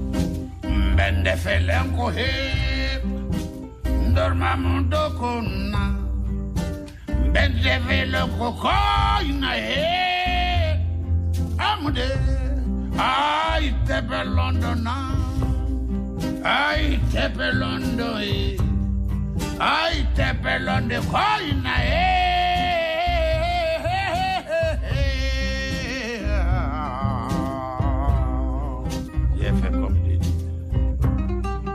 Au-delà des traditionnels messages officiels des chefs d'État de la planète, la rue aussi manifeste assez clairement et unanimement sa douleur. Ça, c'est un bon Dieu. Le décès feu, où nous sommes là, nous sommes les tassimètres, ça nous a tout découragé. On ne sait pas où il faut diriger même pour, pour prendre les clés, ou comment il faut faire pour travailler. Enfin, nous, on ne peut pas décider. Sinon, on, pourrait vous dire que on a au moins une semaine de deuil. Vous faites un monument. Vous représente tout pour, pour tout Ivoirien. À l'âge de 30 ans, et je ne connais pas encore physique ou la mort ou la guerre, et c'est grâce à vous, voyez, aujourd'hui que nous vivons. Je crois que la mort du vieux aujourd'hui, c'est une grande perte pour toute la Côte d'Ivoire. Hein. Euh, le vieux, il est présenté vraiment beaucoup pour la Côte d'Ivoire. Pour nous, les, ses petits-fils, en tout cas, ça va être dur pour la relève. Bon, la balle aujourd'hui est dans le camp des, des autorités. Il faut qu'ils mettent tout en œuvre pour que les choses continuent. Actuellement, c'est l'inquiétude. Vraiment, ça nous peine beaucoup. Toute la Côte d'Ivoire est en deuil. Et on aimerait que toutes les tendances, il y a l'attente. Pour que le pays reste euh, comme il a souhaité et pour qu'il n'y ait pas de, de bagarre, pour qu'il n'y ait pas de, de n'importe quoi. Il faut avouer que la mort du vieux suscite une certaine crainte dans la population. Le président Houphouët-Boigny, qui symbolisait la paix, n'a pas vraiment préparé un dauphin avec lequel les Ivoiriens ont un contact réel. Et beaucoup redoutent un peu le chaos. Même si l'article sur la succession du chef de l'État en cas de vacances du pouvoir est clair, il ne semble pas faire l'unanimité. Jean-Karim Fall, qui était le correspondant de Radio France Internationale en Côte d'Ivoire à cette époque-là, rappelle cette loi constitutionnelle quelques heures seulement après la disparition du bélier, comme on appelait le président Oufoué. Je crois qu'avant, qu'avant toute chose, et, et, pour bien situer tout le monde, je vais, je vais vous, vous donner, vous livrer le, que dit exactement la, Constitution. Alors, l'article 11 de la Constitution ivoirienne, qui a été modifié le, le 6 novembre 1990, stipule qu'en cas de vacance de la présidence de la République par décès, c'est le cas, démission ou empêchement absolu constaté par la Cour suprême, saisi par le gouvernement, les fonctions de président de la République sont dévolues de plein droit au président de l'Assemblée nationale jusqu'à l'expiration du mandat en cours. Voilà donc ce qui est écrit noir sur blanc dans la Constitution ivoirienne. Le cadre constitutionnel est donc établi selon la Constitution. C'est Henri Conan Bédier, Monsieur Bédier, 59 ans, le président de l'Assemblée nationale, le Sphinx, comme il a été baptisé par la presse ivoirienne, qui va accéder à la magistrature suprême jusqu'en septembre 1995, date à laquelle les élections présidentielles doivent se dérouler. Voilà, Jean Karim, donc pour le, pour le texte, mais il semble quand même que certains euh, voudraient voir euh, modifier ce texte. Oui, tout à fait. Euh, ce processus de succession ne fait pas l'unanimité, loin de là. L'opposition le critique, le principal parti de cette opposition, le, Front populaire ivoirien de M. Laurent Gbagbo, a indiqué il y a quelques semaines lors de sa convention extraordinaire que cet article introduisait dans le droit ivoirien, je cite, une succession de type héréditaire et monarchiste. Le Front populaire ivoirien demande donc la formation d'un gouvernement de transition pour 12 mois et l'organisation d'élections justes et transparentes. Au sein du parti au pouvoir, cette fois le PDCI-RDA, des voix se sont également élevées pour dénoncer cet article 11. Le secrétaire général du PDCI a d'ailleurs dénoncé devant le bureau politique il y a quelques jours les manœuvres souterraines et les règlements de compte à l'intérieur de son parti. Ce sont ses propres termes. Monsieur Alassane Draman Ouattara, certains ont aussi dit que dans les premières heures qui ont suivi le décès du vieux, vous avez essayé de garder le pouvoir. Je pense que les autres étaient peut-être un peu pressés. Autrement, j'ai eu neuf mois pour le faire et je ne l'ai pas fait. Pourquoi devrais-je le faire le 7 décembre? Encore des mensonges. Ça ne vous est jamais venu à l'idée de rester un peu plus longtemps au ah, pouvoir? Jamais, jamais. Le 7 décembre, euh, je me suis rendu, à Yamoussoukro euh, pour m'incliner, bien sûr, euh, sur la dépouille mortelle du président. Je suis revenu directement à Abidjan. De l'aéroport, je suis allé à la télévision pour annoncer le décès du président, je pense, aux alentours de 13 heures, le 7 décembre. Et à 16 heures, j'ai tenu un conseil donc des ministres. Et à l'occasion de ce conseil, j'ai dit que le gouvernement donc expédiait les affaires courantes. Ceci veut dire que le gouvernement donnait sa démission. Comme ceci n'avait pas suffi et que certains l'avaient interprété à leur manière, j'ai dû faire un communiqué le 9 décembre pour dire que le gouvernement démissionnait formellement pour qu'il n'y ait pas de confusion. Tout ce qui a été raconté autour de la mort du président et de la succession du président, tel que je l'ai lu dans une certaine presse et tenu par des propos tenus par certaines personnalités, a été tout simplement du trucage. Les acteurs sont là et je souhaite d'ailleurs que vous puissiez interroger des personnalités telles que le grand chancelier Kofi Gado, qui a suivi cette affaire de bout en bout, le ministre d'État Ali Ali, qui a suivi également cette affaire de bout en bout, le ministre de la Défense de mon gouvernement, Léon Konakofi, que j'ai associé à toutes les démarches, le secrétaire général de la présidence, Alain Belkiri, et ainsi de suite. Euh, ils témoigneront que ce que je dis est strictement la vérité. Monsieur Laurent Donafologo, vous étiez le secrétaire général du PDCI, le parti du président Oufouette. Comme le mentionnait Jean-Karim Fall dans l'extrait que nous avons écouté tout à l'heure, vous dénonciez certaines manœuvres qui visaient à ne pas respecter la loi sur la succession. Mais le gouvernement en place à cette date-là, a-t-il essayé de garder le pouvoir? Je ne peux pas dire le gouvernement parce que j'ai su que les ministres étaient partagés sur la manière de rendre la démission. Mais il n'y a pas eu de forcing non plus. Nous, nous disons que nous avons attendu quelques jours avant de, voir la scène de remise de, de démission du gouvernement. Mais il n'y a pas eu ni de forcing, ni de coup de force, ni d'incident. Ça, je l'affirme. En tout cas, au soir du 7 décembre, la loi sur la succession va être respectée. Henri Conan Bédier va se rendre à la télévision comme le veut une certaine pratique pour prendre officiellement les rênes du pouvoir. Nous venons d'apprendre ce matin l'information la plus cruelle de notre histoire nationale. Le père de la nation, notre chef d'État bien-aimé, n'est plus.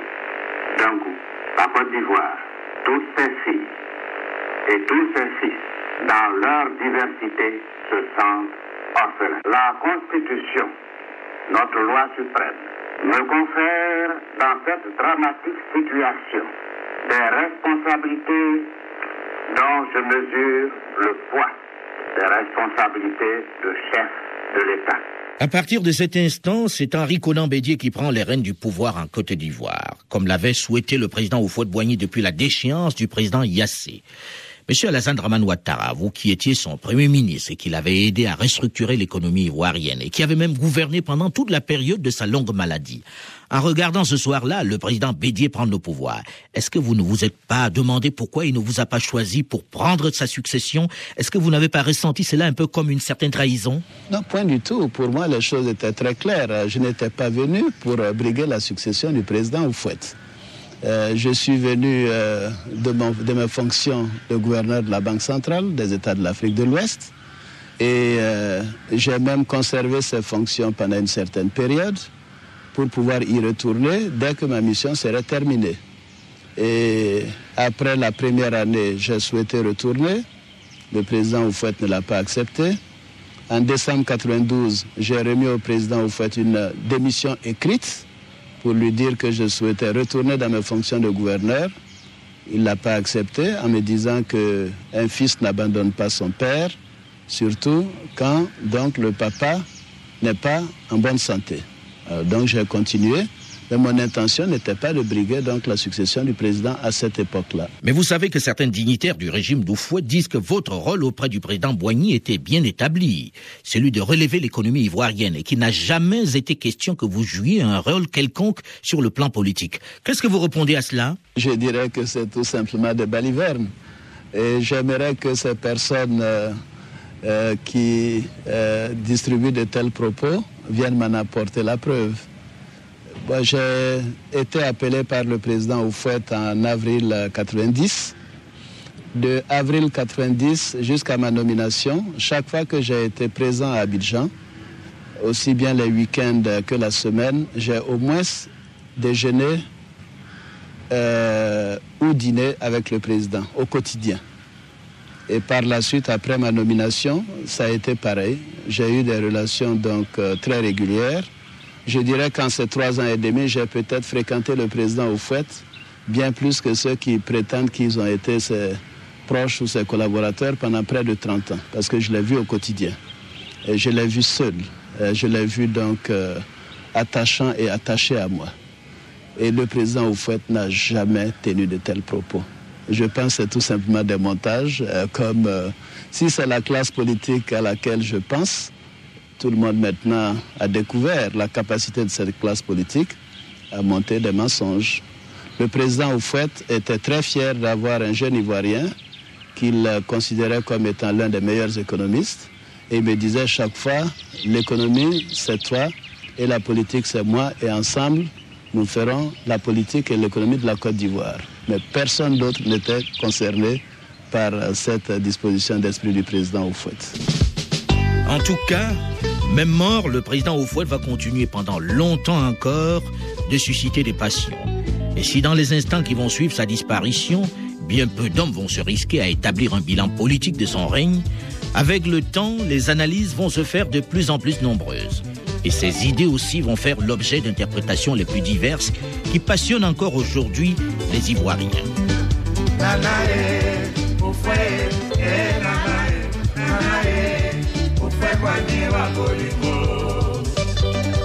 NCA Banque et Assurance et la BIAO Côte d'Ivoire vous ont proposé Archives d'Afrique.